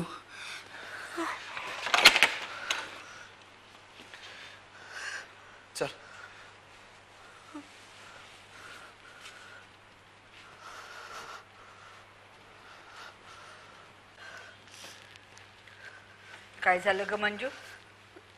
नाही बोलले ना तुझ्याशी? मंजू मंजू अगं ते आज तुझ्यावर रागावलेले रुसलेले नाहीयेत. मध्येच त्यांची अशी वाचा जाते आणि मध्येच येते. येते ना? हो, म्हणजे काही सांगता येत नाही. कधी येते कधी? आली होती. हा? वाचा आली होती. बोलले. ते माझ्याशी बोलले. आवाज खूप खोल होता. पण बोलले. म्हणाले मंजू मलाही तुझी खूप आठवण यायची ग. मी दाखवायचो नाही पण यायची. अखिलेशला बघून म्हणाले किती देखणा आहे का तुझा नवरा? तुझ्या नाकातून आता रक्त तर नाही नाही येत असंही विचारलं मला. अशी संशयाने काय बघतेस माझ्याकडे अखिलेशला विचारत तू? मंजू?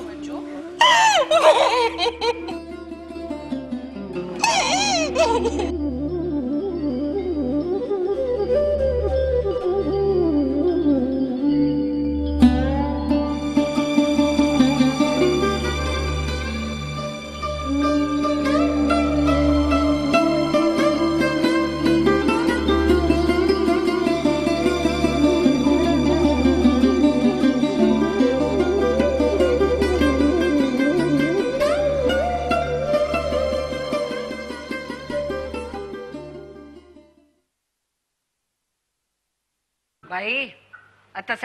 फोटो दाखवते हा माय गॉड एवढे फोटो हे गेल्या पन्नास वर्षातलं भाईंनी जपून ठेवलेलं क्षणचित्रांचं धन. भाई यू आर ग्रेट हे काय आणि ते कोण आहे? ए, मम्मा, ती बघ मी. आजी तू कुठून मिळाला का ए, मी एवढी बारीक होते? हे अपू हे बघ हे बघ. या फोटोतल्या तिघी कोण ते ओळखा आणि एक लाख रुपये जिंका. ए, हा बो हा ना आमच्या साखरपुड्याचा आहे. हेअरस्टाईल बघ. भाई तेव्हा असे दिसायचे ए अप्पू बघ नंगू. तू अरे हा कोणाचा वाढदिवस आहे का अरे भाई वो कौन सा मकान है? एक गदडे हे बघ हे जबलं ना तुझ्यासाठी मी शिवलं होतं. हे चार आपण आधीच बघितलेत. लीडर लोकांचे फोटो कशाला लावले तुगाच अखिलेश जी इसे पहचाना क्या? हे नुसताच या माडाच्या झाडाचा काय फोटो लावलाय? थांब ना एक मिनिट मी बघते. अगं मला अरे, अरे, अरे, अरे, फोटो अरे अरे असे सायरा वैरा धावू नका आठवणींचं जंगल आहे. एकटे दुकटे धावाल तर कुठेतरी हरवून जाल. या फोटोना एक क्रम आहे. नाही का हो बाई. सगळे मिळून बघूया. ही आमच्या लग्नानंतरची पहिली दहा वर्ष. एकोणीसशे त्रेपन्न ते त्रेसष्ट. श्रीवर्धनचं घर इथेच बाळचा जन्म. त्याच्या जन्मानंतर वाडीत लावलेलं ते माडाचं झाड. बाळ पाठोपाठ विजू दीपकचाही जन्म. दरम्यान भाईंना बँकेची नोकरी मिळाली. इंदोर देवास ही दोन बदलीची गावं झाली. यांचे आजोबा आणि माझे पणजोबा वार्धक्यानं गेले आणि यांचे एक मित्र अपघातात गेले. बाळ तुम्ही तिघे या जगात आलात आणि ते तिघं गेले. याच दहा वर्षात बाबासाहेब आंबेडकर डॉक्टर राजेंद्र प्रसादही गेले. तेव्हा कुणी मोठं माणूस गेलं की वाटायचं आपल्याच घरातलं कुणीतरी गेले. हा बाळ विजू दीपकचा फोटो बघा. फोटो नीट निरखून बघा. फोटोग्राफरनं ज्या बाकावर या तिघांना बसवलंय तिथे एवढी आजूबाजूला जागा आहे तरी सुद्धा तिघं कसे एकमेकांना खेटून बसलेत बघा. तिघाही भावांचे पाय जमिनीवर तरंत आहेत पण एकमेकांच्या मांडीवरचे हात मात्र तसेच आहेत. ही त्यानंतरची पुढची दहा वर्ष. एकोणीसशे त्रेसष्ट ते त्र्याहत्तर. या दहा वर्षात पाकिस्तानशी झालेली दोन्ही युद्ध बाईंनी कानात प्राण आणून रेडिओवर ऐकली होती. आपले सैनिक गेल्याची बातमी ऐकली तर चहाचा भरलेला कप तसाच पडून राहायचा. मग मंजूचा जन्म. पानशेच्या पोरानंतर मिळालेल्या जागेत या घराचं बांधकाम. पहिलं स्वतःच घर. पुन्हा दोन बदल्यांची गावं झाली धुळे भुसावळ. दरम्यान नेहरू शास्त्रीजी सावरकरही गेले. हा बाळ विजू दीपक आणि मंजूचा फोटो बघा. तिघाही भावांचे पाय आता जमिनीला टेकलेत पण एकमेकांच्या मांडीवरचे हात मात्र बाजूला झालेत. भाई आणि मंजूचे फोटो पा तिच्या गालाचा पापा मागताना बरं का मला खाऊ दे खाऊ दे असं म्हणायचे. मग आज काय आंबा खाल्ला आज पेढा होता आज बर्फी खाल्ली अशी नाना प्रकारांची नावं घ्यायचे. त्या फोटोत किती निरामय दृष्टीने तिच्याकडे पाहतायत. जणू दहा सेकंदही तिच्याशिवाय जगू शकणार नाही. मग ही त्यानंतरची पुढची दहा वर्ष. त्र्याहत्तर ते त्र्याऐंशी. बाळ आणि दीपकचं लग्न. माझ्या दोन सुना आल्या. मग बिजूचा टायफॉइड आमच्या अर्चनचा आणि अपूर्वचा जन्म. आमचं आजी आजोबा होणं. आता आम्हा दोघांनाही आई वडील आजी आजोबा राहिले नाहीत तरी सुद्धा आम्ही जगतच राहिलो. मग आणीबाणी जनता राजवटीचं येणं जाणं दरम्यान माझ्या आईचं कॅन्सरनं जाणं. पूर्वी कॅन्सर आणि घटस्फोट हे नेहमी दुसऱ्याच्याच घरी होतात असं वाटायचं. हे सगळं आता आपल्याही घरापर्यंत येऊन पोचलं.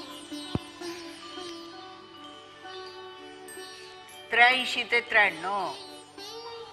इंदिरा गांधी गेल्या.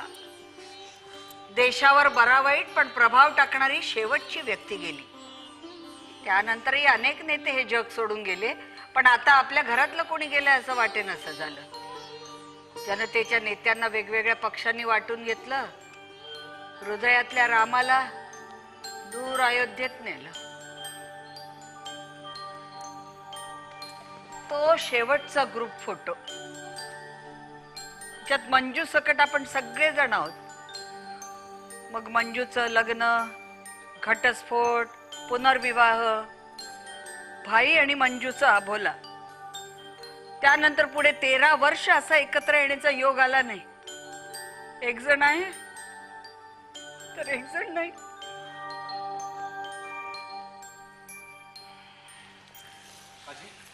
काय रे? बाबांच्या जन्माच्या वेळी लावलेल्या या माडाच्या झाडाचा फोटो मी घेऊ? अरे घे ना. अ, आजी अ, मी हा माझ्या पहिल्या वाढदिवसाचा घेऊ? घे बेटा घे. आई आमच्याकडे ना आमच्या साखरपुड्याचा एकही फोटो नाहीये. अगं मग घ्यायचा. आई मला आमच्या तिघांचा फोटो हवा. खेटून बसलेला का दूर सरकलेला? नाही मांडीवर हात ठेवलेला. ते मला ना मला माझा पतंग उडवतानाचा हवाय का रे? माझा पतंग आयुष्यात पुढे कधीही एवढा स्थिर राहिलेला नाही. माझ्या वाट्याला उरलेले नेतेच येणार.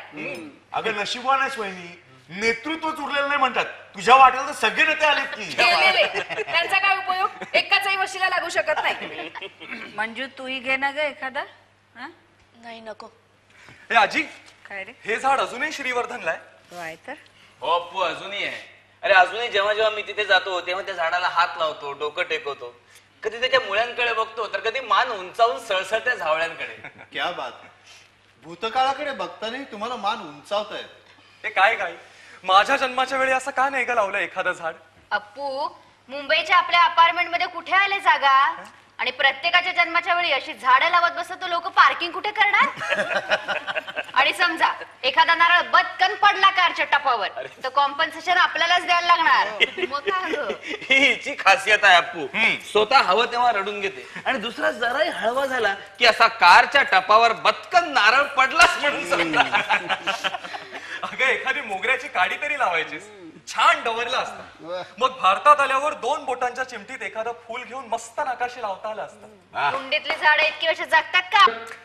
अगं आई प्रश्न कल्पना सुचण्याचा आहे. कोण किती जगतं आणि कोण किती टिकतं ह्याचा नाही. जगण्याचा काय भरोसा? आज आहे तर उद्या नाही. हो ना. आज आहे तर आत्ता नाही. आत्ता आहे तरी आत्ता नाही. हे लक्षातच आलं नाही. काय? नाही, आपण फक्त अप्पूच्या नावाने भविष्याची तरतूद करणाऱ्या पॉलिसीच काढत बसलो. पण त्याच्यासाठी चांगला भूतकाळ मागे ठेवून जाणार राहूनच गेले. हो. पण प्रत्येकाच्याच वाट्याला कुठून येणार रम्य भूतकाळ? उपरा बलुत आमचा बापन आम्ही वाचलत ना? पाचवीला पुजलेले कष्ट खायला अन्न नाही वर समाजाची उपेक्षा. याला रम्य भूतकाळ म्हणता येईल? नाही बरोबर तुझं. पण भूतकाळ हा रम्य असलाच पाहिजे असं नाही काही. पण तो आयुष्य घडवणारा मात्र असला पाहिजे.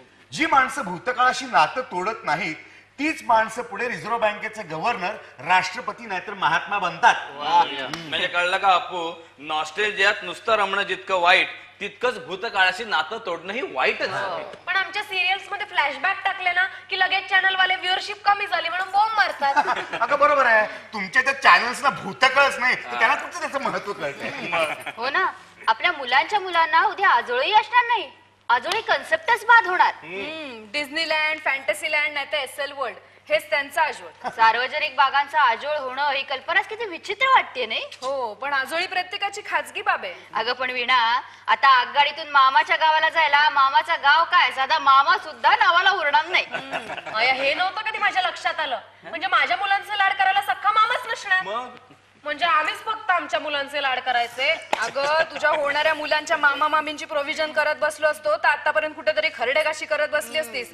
उलट तू एकटीच आहेस म्हणून आज आपण ताठ मानेने जगू शकतोय. तुला काय माहीत किती कष्ट पडतात? मामा मावशा आत्या असणंही आता कुणाला परवडणार नाहीये. हे आजी तुम्ही किती भावंड होता? आठ. आणि भाईंकडे तर दहा जण नाही का हो बाई आम्हाला चार मुलं. आमच्या मुलांना दोन एक किंवा पुढे तर कदाचित एकही नाही. एकूणच पन्नास वर्षांपूर्वीचं भारतीय कुटुंब म्हणजे दहा बारा मुलांचं. आई वडील आजी आजोबा काका काकी आत्या पुतणे सख्या चुलत भावंडांनी भरलेले. भावंडांपैकी एक मुलगा किंवा एक मुलगी हमखास अविवाहित. माझ्यासारखा. एखादा भाऊ किंवा बहीण पळून गेलेली. माझ्यासारखी. एखादा वेडा. मला अगदीच वेडा नाही म्हणता येणार. हं, एखाद्या मुलाचा अकाली मृत्यू झालेला कोणी खूप शिकत वर येणारा कोणी शिक्षणापासून वंचित कोणी गावातच राहिलेलं कोणी शहरात आलेलं ते आठवून बघा. तेव्हा त्या फॅमिली स्ट्रक्चरमध्ये हे अगदी ठरवून गेलेलं असायचं. नाही का हो भाई? आजी पण तुमच्या वेळी तुमचे आई वडील इतकी मुलं अफोर्ड कशी करू शकले? ते खूप श्रीमंत होते. नाही ग आयुष्य स्वस्त होतं. अरे वहिन्यानो काहीतरी चहा पाणी थंड गरम काही पाजाल की नाही? आल्यापासून गप्पा काय ठोकताय? माझ्या सुजाता सूप तयार आहे घे ना सगळ्यांना घ्या. वेडा. मस्त गरम गरम सूप आणते तुझ्यासाठी. वा चालेल. चालेल का तुला माझ्या हातचं? अहो वहिनी आजचा दिवस काय आहे? घेऊ चालू नाही बरं, त्या दिवशी. चांगलं आहे, चालेल. झाली माणसं मोजून? हो, झालं. काय क्लिंटन? कसला विचार करताय? नाही मला काय वाटतं काका हा प्रश्न पॉप्युलेशनशी रिलेटेड आहे. एक मिनिट. पॉप्युलेशनशी माझा काही संबंध नाही. तिकडे. हा प्रश्न पॉप्युलेशनशी रिलेटेड आहे. त्याचा गरिबी आणि श्रीमंतीशी काय संबंध? हा ब. आप्या तू जरा ऑब्झर्व कर ना. काय? सगळ्या इंडस्ट्रीज ना तीन तीन चार चार मुलं बिझनेस एक्सपान्शननुसार फॅमिली एक्सपान्शन करतात. एवढंच कशाला? टीना श्रीदेवी जुही सगळ्यांनीच तीन वर्षात बराबर दोन दोन मुलं मुली होऊ दिली ती काय उगाच? अगं हे ब- बघ हल्ली हाच ट्रेंड आहे. अगं अर्चू श्रीमंतांच्या मुलांचा आदेशावर भार पडत नाही. शिवाय वडिलांची स्वप्न पूर्ण करण्यासाठी त्यांचा एक एक उद्योग बघायला त्यांना एक एक मुलगा लागतोच. हो का? म्हणजे एक बिस्लईचा प्लान सांभाळतो एक गारमेंटचा तर तिसरा फोनचा. आपल्याला एवढे उद्योगच नसतात. तर हवेत कशाला इतकी मुलं? अहो, वहिनी म्हणूनच मी हं? म्हणजे वहिनी हा. आधी जॉईंट फॅमिली मग न्यूक्लिअर फॅमिली आता सिंगल चाइल्ड किंवा एकही नाही. हो म्हणजे आधी अरेंज मॅरेज हो. मग लव्ह मॅरेज आणि आता लिव्ह इन रिलेशनशिप आप्या ही तुमची लिव्ह इन रिलेशनशिप म्हणजे लग्न न करताच नवरा बायको सारखं एकत्र राहणं ना? ऑफकोर्स म्हणजे पटलं तर पटलं नाही तर दिलं सोडून. व्हॉट्स रॉंग इन इट चुकीचा निर्णय घेऊन आपलं लाईफ मिझरेबल करण्यापेक्षा आपलं एकमेकांशी जमतंय की नाही? हे आधी बघायचं. आमच्या फील्ड मधले ना आता कितीतरी जण असेच राहतात.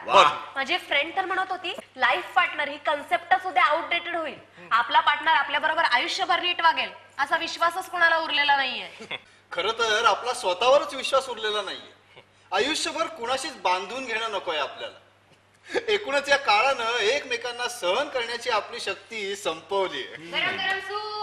बरोबर आहे अखिलेशजी तुमचं. त्यामुळेच दिवसेंदिवस घटस्फोटांचं प्रमाण सुद्धा वाढतच चाललंय. अहो बदलत्या काळात ते वाढणार ते चूक आहे किंवा बरोबर आहे याच्यापेक्षा ते अटळ आहे. इकडे अमेरिकेत तर नवरा बायकोची अकाउंटच वेगळी. सॅलरी इन्व्हेस्टमेंट याबद्दल एकमेकांना काही माहीत नसतं. अच्छा अच्छा. नवरा बायकोंची एकत्र अकाउंट असणं म्हणजे चांगले संबंध. अहो मी तुम्हाला म्हणाले नव्हते आपलं वेगळं अकाउंट काढायला नको म्हणून. अगं पण पहिलं आपलं जॉईंट अकाउंटच आहे ना? ते फक्त नावाला. त्यातून मला ते पैसे कुठे काढता येतात? काय बाबा? म्हणजे सुजाता बहिणी नुसतं जॉईंट अकाउंट असणं नाही त्यातून एकमेकांना न विचारता पैसे काढण्याचा अधिकार असणं म्हणजे चांगले संबंध. हो पण विणा म्हणजे एकमेकांना चांगल्या अर्थाने गृहित धरायचं का दुसऱ्यानं ज्या कारणासाठी पैसे काढले असणार ते योग्य कारण असणार असं. बरोबर आहे हे दीपक. हे हे हे अति होते असं नाही वाटत. अरे बा इतकंच करायचं ना तर मग जॉईंट अकाउंटमध्ये ही आर्थिक समानता हवी. उद्या तुम्ही म्हणाल की विड्रॉल्समध्ये समानता मग कसं शक्य आहे? अरे विजू माझा बँकेतला मित्र सांगत होता. हल्ली बँकांमध्ये नवरा बायकोची जॉईंट अकाउंटच कमी झाली आहे. अच्छा. म्हणजे लोक व्यवहारात नाता आडच येऊ देत नाहीत. अरे भावनांच्या बदलत्या राजकारणावर अर्थकारण अवलंबून आहे आणि अर्थकारणावर भावनांचं राजकारण हे आता सगळ्यांना कळून चुकलंय. भावनांचं राजकारण? अरे मग तुमचं मोठं मन कुठे गेलं? ते कुठे राहिले जू आपल्या चांगल्या संबंधाबद्दल बोलणं चाललंय ना? मध्ये तुझं मोठं मन कुठनं आलं? अहो पण वहिनी मन मोठं असल्याशिवाय कसे राहणार आहेत चांगले संबंध? बाबा. विजू काका असंच काही नाही हा. आमच्याकडे मम्मा डॅडी. एकमेकांचे व्यापार ढवळाढवळच करत नाही जो असू दे का? तू बोल ग बोल तू बोल. विजू? काका अरे मी मम्माला डॅडीचं काही विचारलं ना तर ती म्हणते त्यांचं त्यांना विचार. आणि डॅडला मम्माचं काही विचारलं ना तर ते म्हणतात तिचं तिला विचार. काय वेडा हे का? चांगले संबंध. सुजाता काकी निदान कडाक्याची भांडणं तर होत नाहीत. शाबास. अच्छा म्हणजे एकमेकांच्या नादी न लागणं म्हणजे चांगले संबंध. ए अप्पू मगाशी तू अमेरिकेतल्या नवरा बायकोंचं काय म्हणत होतास रे? काही नाही ग. तिकडे एखादी छोटी वस्तू घ्यायची ना तरीही अर्धे अर्धे पैसे टाकतात. म्हणजे नंतर भानगड नको. आपलं मॅरिड लाईफ कधी धोक्यात येऊ शकतं. हे ते आधीपासूनच गृहित धरून असतात. एक्झॅक्टली हाच फरक आहे. आपल्याकडे डिवोर्स सोय म्हणून स्वीकारला गेलाय पण त्यात अजून सामंजस्य कुठे आलं म्हणजे? आपल्याकडच्या स्त्री पुरुषांना अजूनही घटस्फोट घेताना मनामध्ये एक प्रकारचं प्रचंड गिल्टी फिलिंग असतं. यातूनच मग माझीच बाजू कशी बरोबर आहे हे सांगण्यासाठी ते खुशाल एकमेकांची बदनामी करतात आणि नवरा बायकोचे बेडरूम मधले असंख्य खाजगी क्षण सार्वजनिकरित्या चघळले जातात. अरे भाई क्यों बदनाम करतोय हो एक दुसरे को हा? आम्ही खूप सुंदर उत्कट एकत्र जगलो पण पुढे आमचं पटेनच झालं. एकमेकांबद्दलचा आदर आणि प्रेम कायम राहावा म्हणून आम्ही वेगळं व्हायचं ठरवलंय. असं म्हणून जेव्हा दोन जण वेगळे होतील तेव्हा तो मॅच्युअर डिवोर्स ठरेल. वा अखिलेशजीं सारखे काउन्सिलर ज्यांना लाभतील ना ते भाग्यवान. उलट मी कुणाला वेगळं होण्यापासून थांबू शकलो तर मी भाग्य. पण तसे प्रसंग फारच क्वचित येतात. मनाने संपूर्ण तुटल्यावरच लोक आमच्याकडे येतात. नाडी आणि ठोके थांबल्यावर डॉक्टरला बोलावून काय उपयोग? तसंच नाही काही?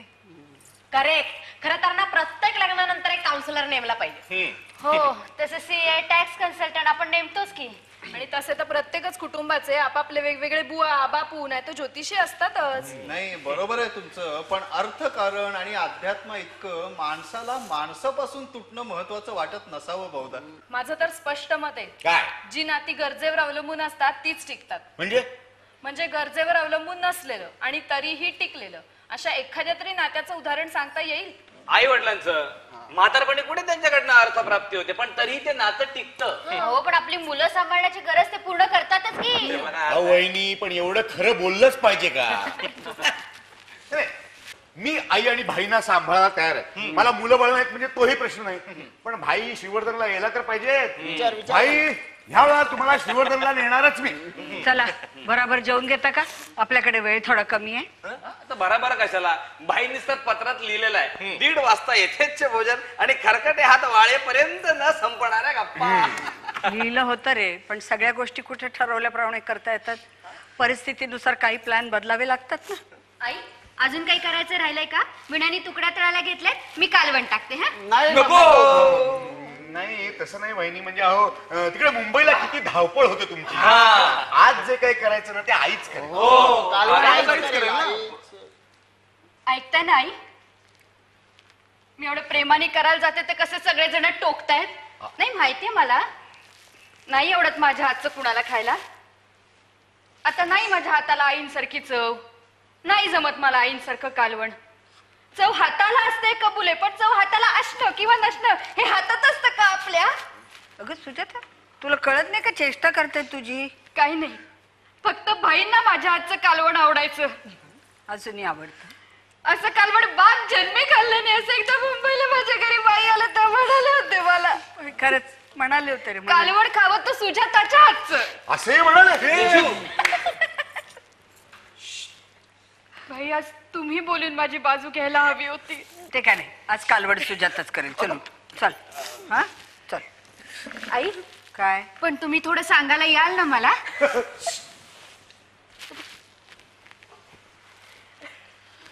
काय रे? शी. काय ग आई? आम्हाला तुझ्या हातचं खायचं होतं. काय मी इतक्या लांबून आलोय. करू दे रे. बिचारी प्रेमानं म्हणते एवढी करू दे ना तिला. आणि बाकीचं सगळं मी करते ना. पण आज होईल ना रे माझ्या हातून सगळं व्यवस्थित? अगं आता आणखी काय व्यवस्थित व्हायचं राहिलं? बाईंना काय औषध वगैरे द्यायचे आहेत का? आई मी भाईना गरमागरम सूप देऊन येतो ना. अरे अरे थांब. मी देऊन येते. तुला सवय नाही ना? आले मी हा? सवयीचे काय आले? आले. ए आरचे केसांची चाळे करत नको बसू. चला.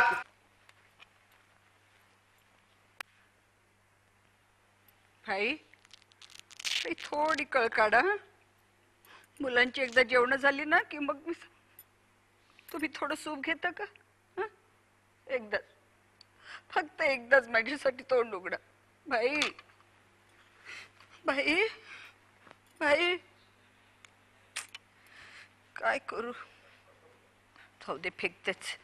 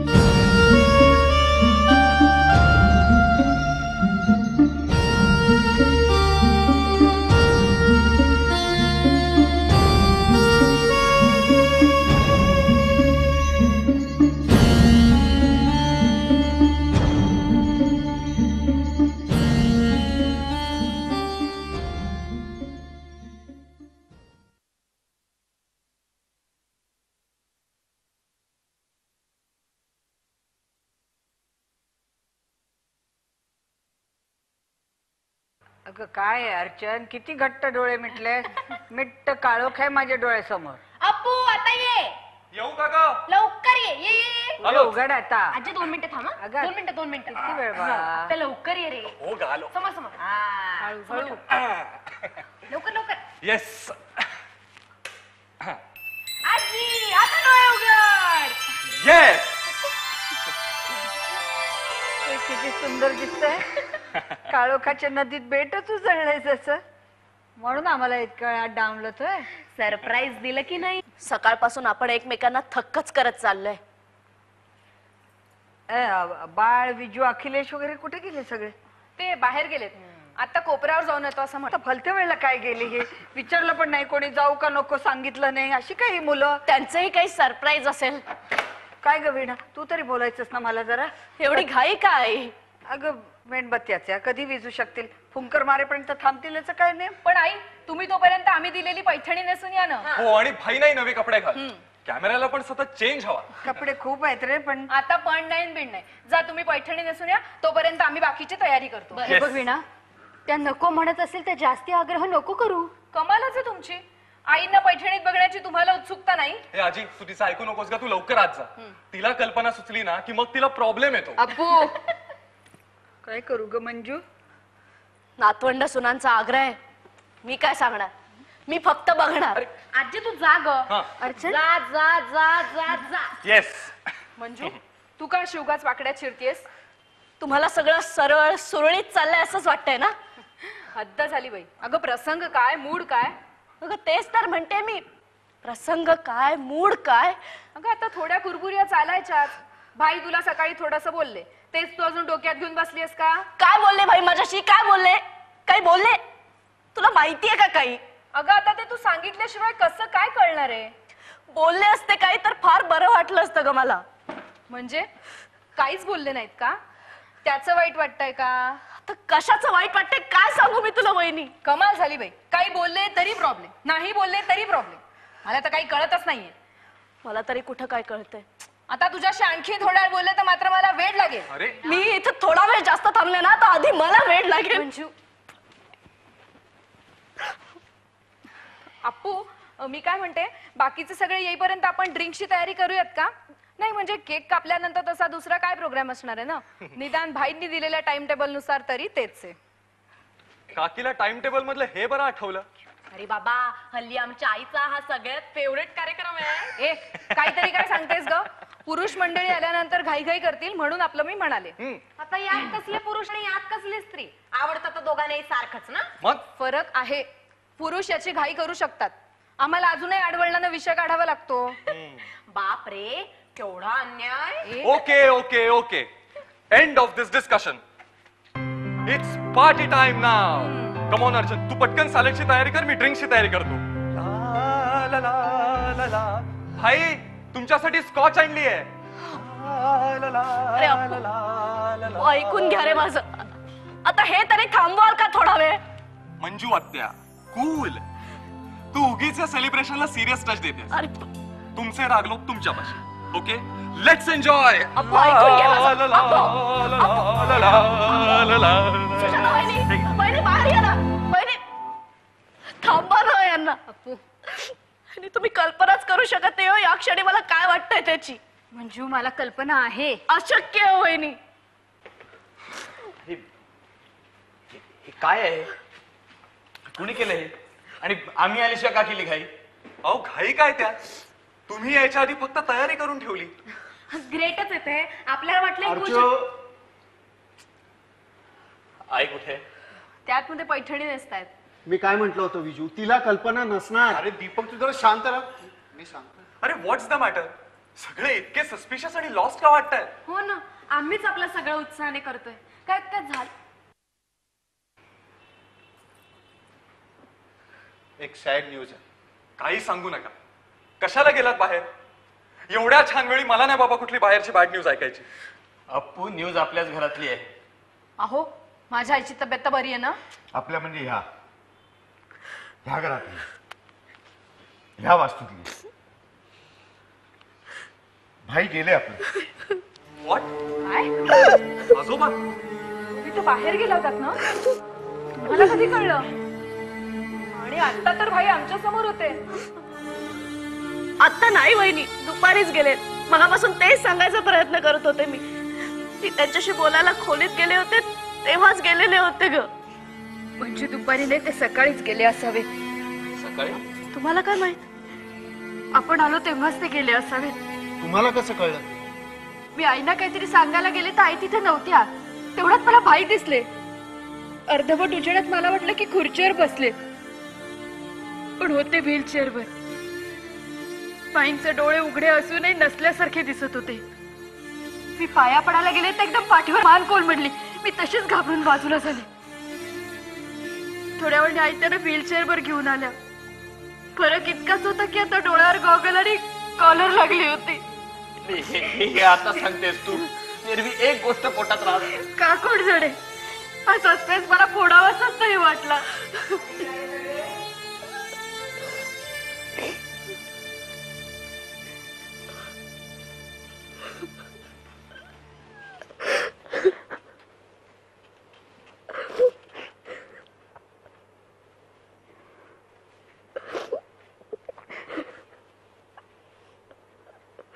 चला भाई आता आपण सरप्राईज देण्याची वेळ आली आहे.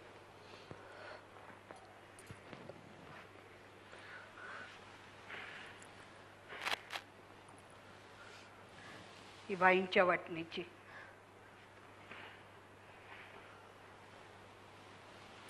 किती साधी गोष्ट असते ना एक फुंकर मारणं. पंच्याहत्तर वर्षांच्या आयुष्यातच पहिल्यांदाच पाहिलं एक फुंकर मारणंही शक्य राहिलेलं नाही. भोवताली हवा आहे पण शरीरात नाही. रक्त आहे पण रक्ताभिसरण नाही. अवयव आहेत पण संवेदना नाही. मध्यरात्रीच्या निरव शांततेतल्या रस्त्यासारखा शरीरात शुकशुकाट आहे. सकाळ झाली की रस्ते पुन्हा वाहू लागतात पण बाईंसाठी आता सकाळ नाही. पहाटेचा किलबिलाट नाही जाग येणं नाही झोप येणं नाही दचकावून उठवणारी स्वप्न नाही.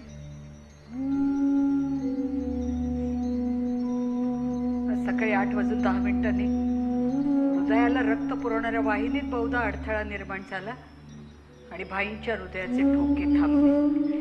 मेंदूही रक्त पुरवठ्याविना तळमळला. नसांची तडतड थांबली. शरीरातली ऊब सरली आणि क्षणार्थ सगळं होतेच नव्हतं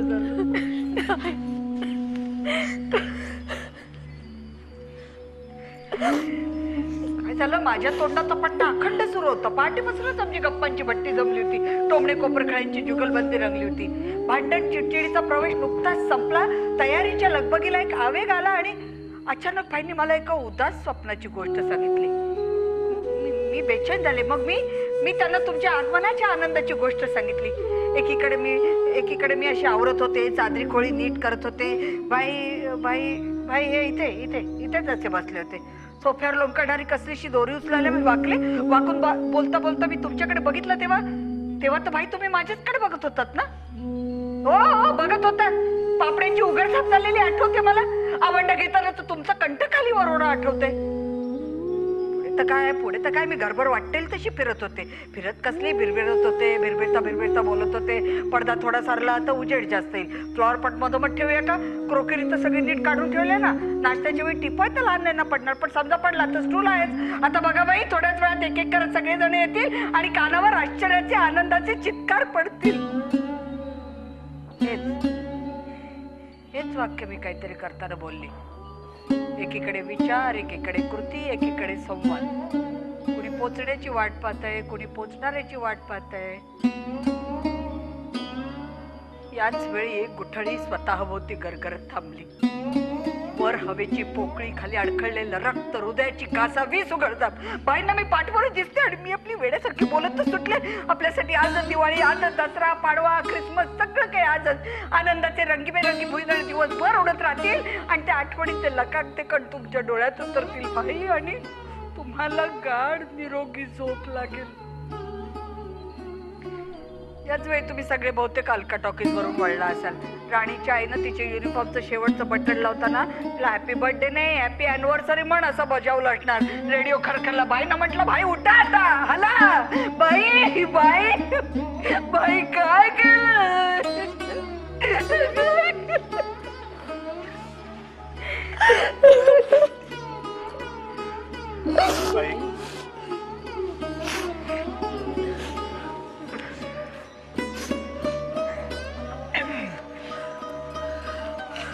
असं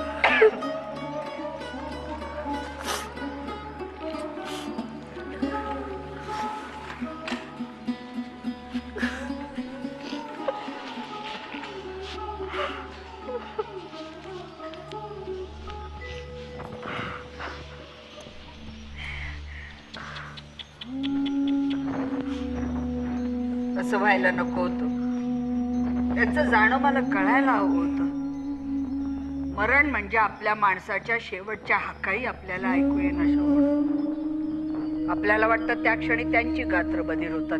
त्यांना मात्र त्यांच्या हक्काही ऐकू न येणारे आपणच गलित गात्र आणि बधीर वाटत असणार दुसऱ्याला वाचवू न शकण्याचं अपंगत्व घेऊनच तसे आपण सगळे जन्माला येतो नाही. आजी! अजून केक नाही ना कापलास? सगळे आले ना? मी राणी. आम्ही समोरच राहायला आलोय. मी विजू काकाला आणि अपूर्व दादाला ओळखते. आणि ही अर्चना ताई परिवार मधली रिंकी. बाकीचे कोणी माहीत नाही. आजी आजोबा असे का झोपले? आजोबा झोपले नाही बेटा ते वारलेत वारले म्हणजे? माहितीये. केक न खाताच गेले. आजी आजी रडू नकोस. बरं झालं ना सकाळी नाही गेले? आजी मी कपडे बदलून येते आणि आई पप्पा ऑफिसवरून आले की त्यांना सांगते. आले आले सांगू नको. असं बेटा? आधी बसू दे पाणी पिऊ दे. हीच हीच मुलगी. सकाळी शाळेत जाताना आली आणि नसलेल्या भाईंना असलेलं समजून फूल देऊन गेली. वाहून नाही देऊन गेली. फक्त एका समजण्याची गफलत. पण त्यामुळे भाईंना तिचं गोड पापा मिळाला. संध्याकाळी येते तोवर केक कापू नका म्हणाली. म्हणजे तिच्यासाठी थांबणं आलं वाट पाहणं आलं. अजाणतेपणी या पोरीनं भाईंना संध्याकाळपर्यंतचं आयुष्य देऊन टाकलं. एक अघोषित मरण एक साजरा होण्यासाठी आज उचलेला दिवस. दरवाजे खिडक्यांबाहेर धडका मारत खोळंबून राहिलेला उत्साहाचा महापूर आणि या दिवसाच्या वाटेकडे लागलेले आमचे डोळे. या उत्साहाच्या पुरात वाहून जायचं सोडून मी त्याला नाकारू शकत होते का? लोक लक्ष्मीला नाकारू नये म्हणतात. मला घरात शिरू पाहणाऱ्या आनंदाला परतवा असं वाटलं नाही. भाई बेजबाबदारपणे गेलेच होते. मी हा दिवस असाच सोडून देऊ? नाही. नाही सोडूच शकत नव्हते मी आजचा दिवस. कारण सगळ्या कुटुंबाला एकत्र आणण्यासाठी आता निमित्त शोधावे लागतात. मला तुझी आठवण आली तुला बघावं असं भेटावं असं वाटलं म्हणून ये. असं म्हणून हजारो महिलांवरून अपूर्वला इथं नाही बोलवत आहेत भाई आणि मंजूचा अबोलास सहजच एखाद्या संध्याकाळी निवांत क्षणी भेटून नाही मिटवता येत. बाळची आणि दीपकची एकमेकांना न भेटणारी कुटुंबाशी सहजासहजी नाही जोडता येत. स्वतःच्या व्यापात स्वतःच्या रागालोभात स्वतःच्या ताणतणावात आकंठा बुडवलेली ही ही माणसं गोळा करून आपल्या घरी जमवायची तर साधा सुद्धा नाही लग्नाचा पन्नासावा वाढदिवस यावा लागतो. का होतंय असं? प्रत्येकच दिवस आनंदाने साजरा केला असता. वेळोवेळी एकमेकांच्या भेटी गाठी घडल्या त्या ख्याली खुशाली कळली असती. तर आज? आज मालती सबनीस नावाच्या सत्तर वर्षाच्या बाईवर तिच्या परलोकवासी झालेल्या नवऱ्याला तिच्या लोकात असं थांबवून ठेवण्याची वेळच नसती आली.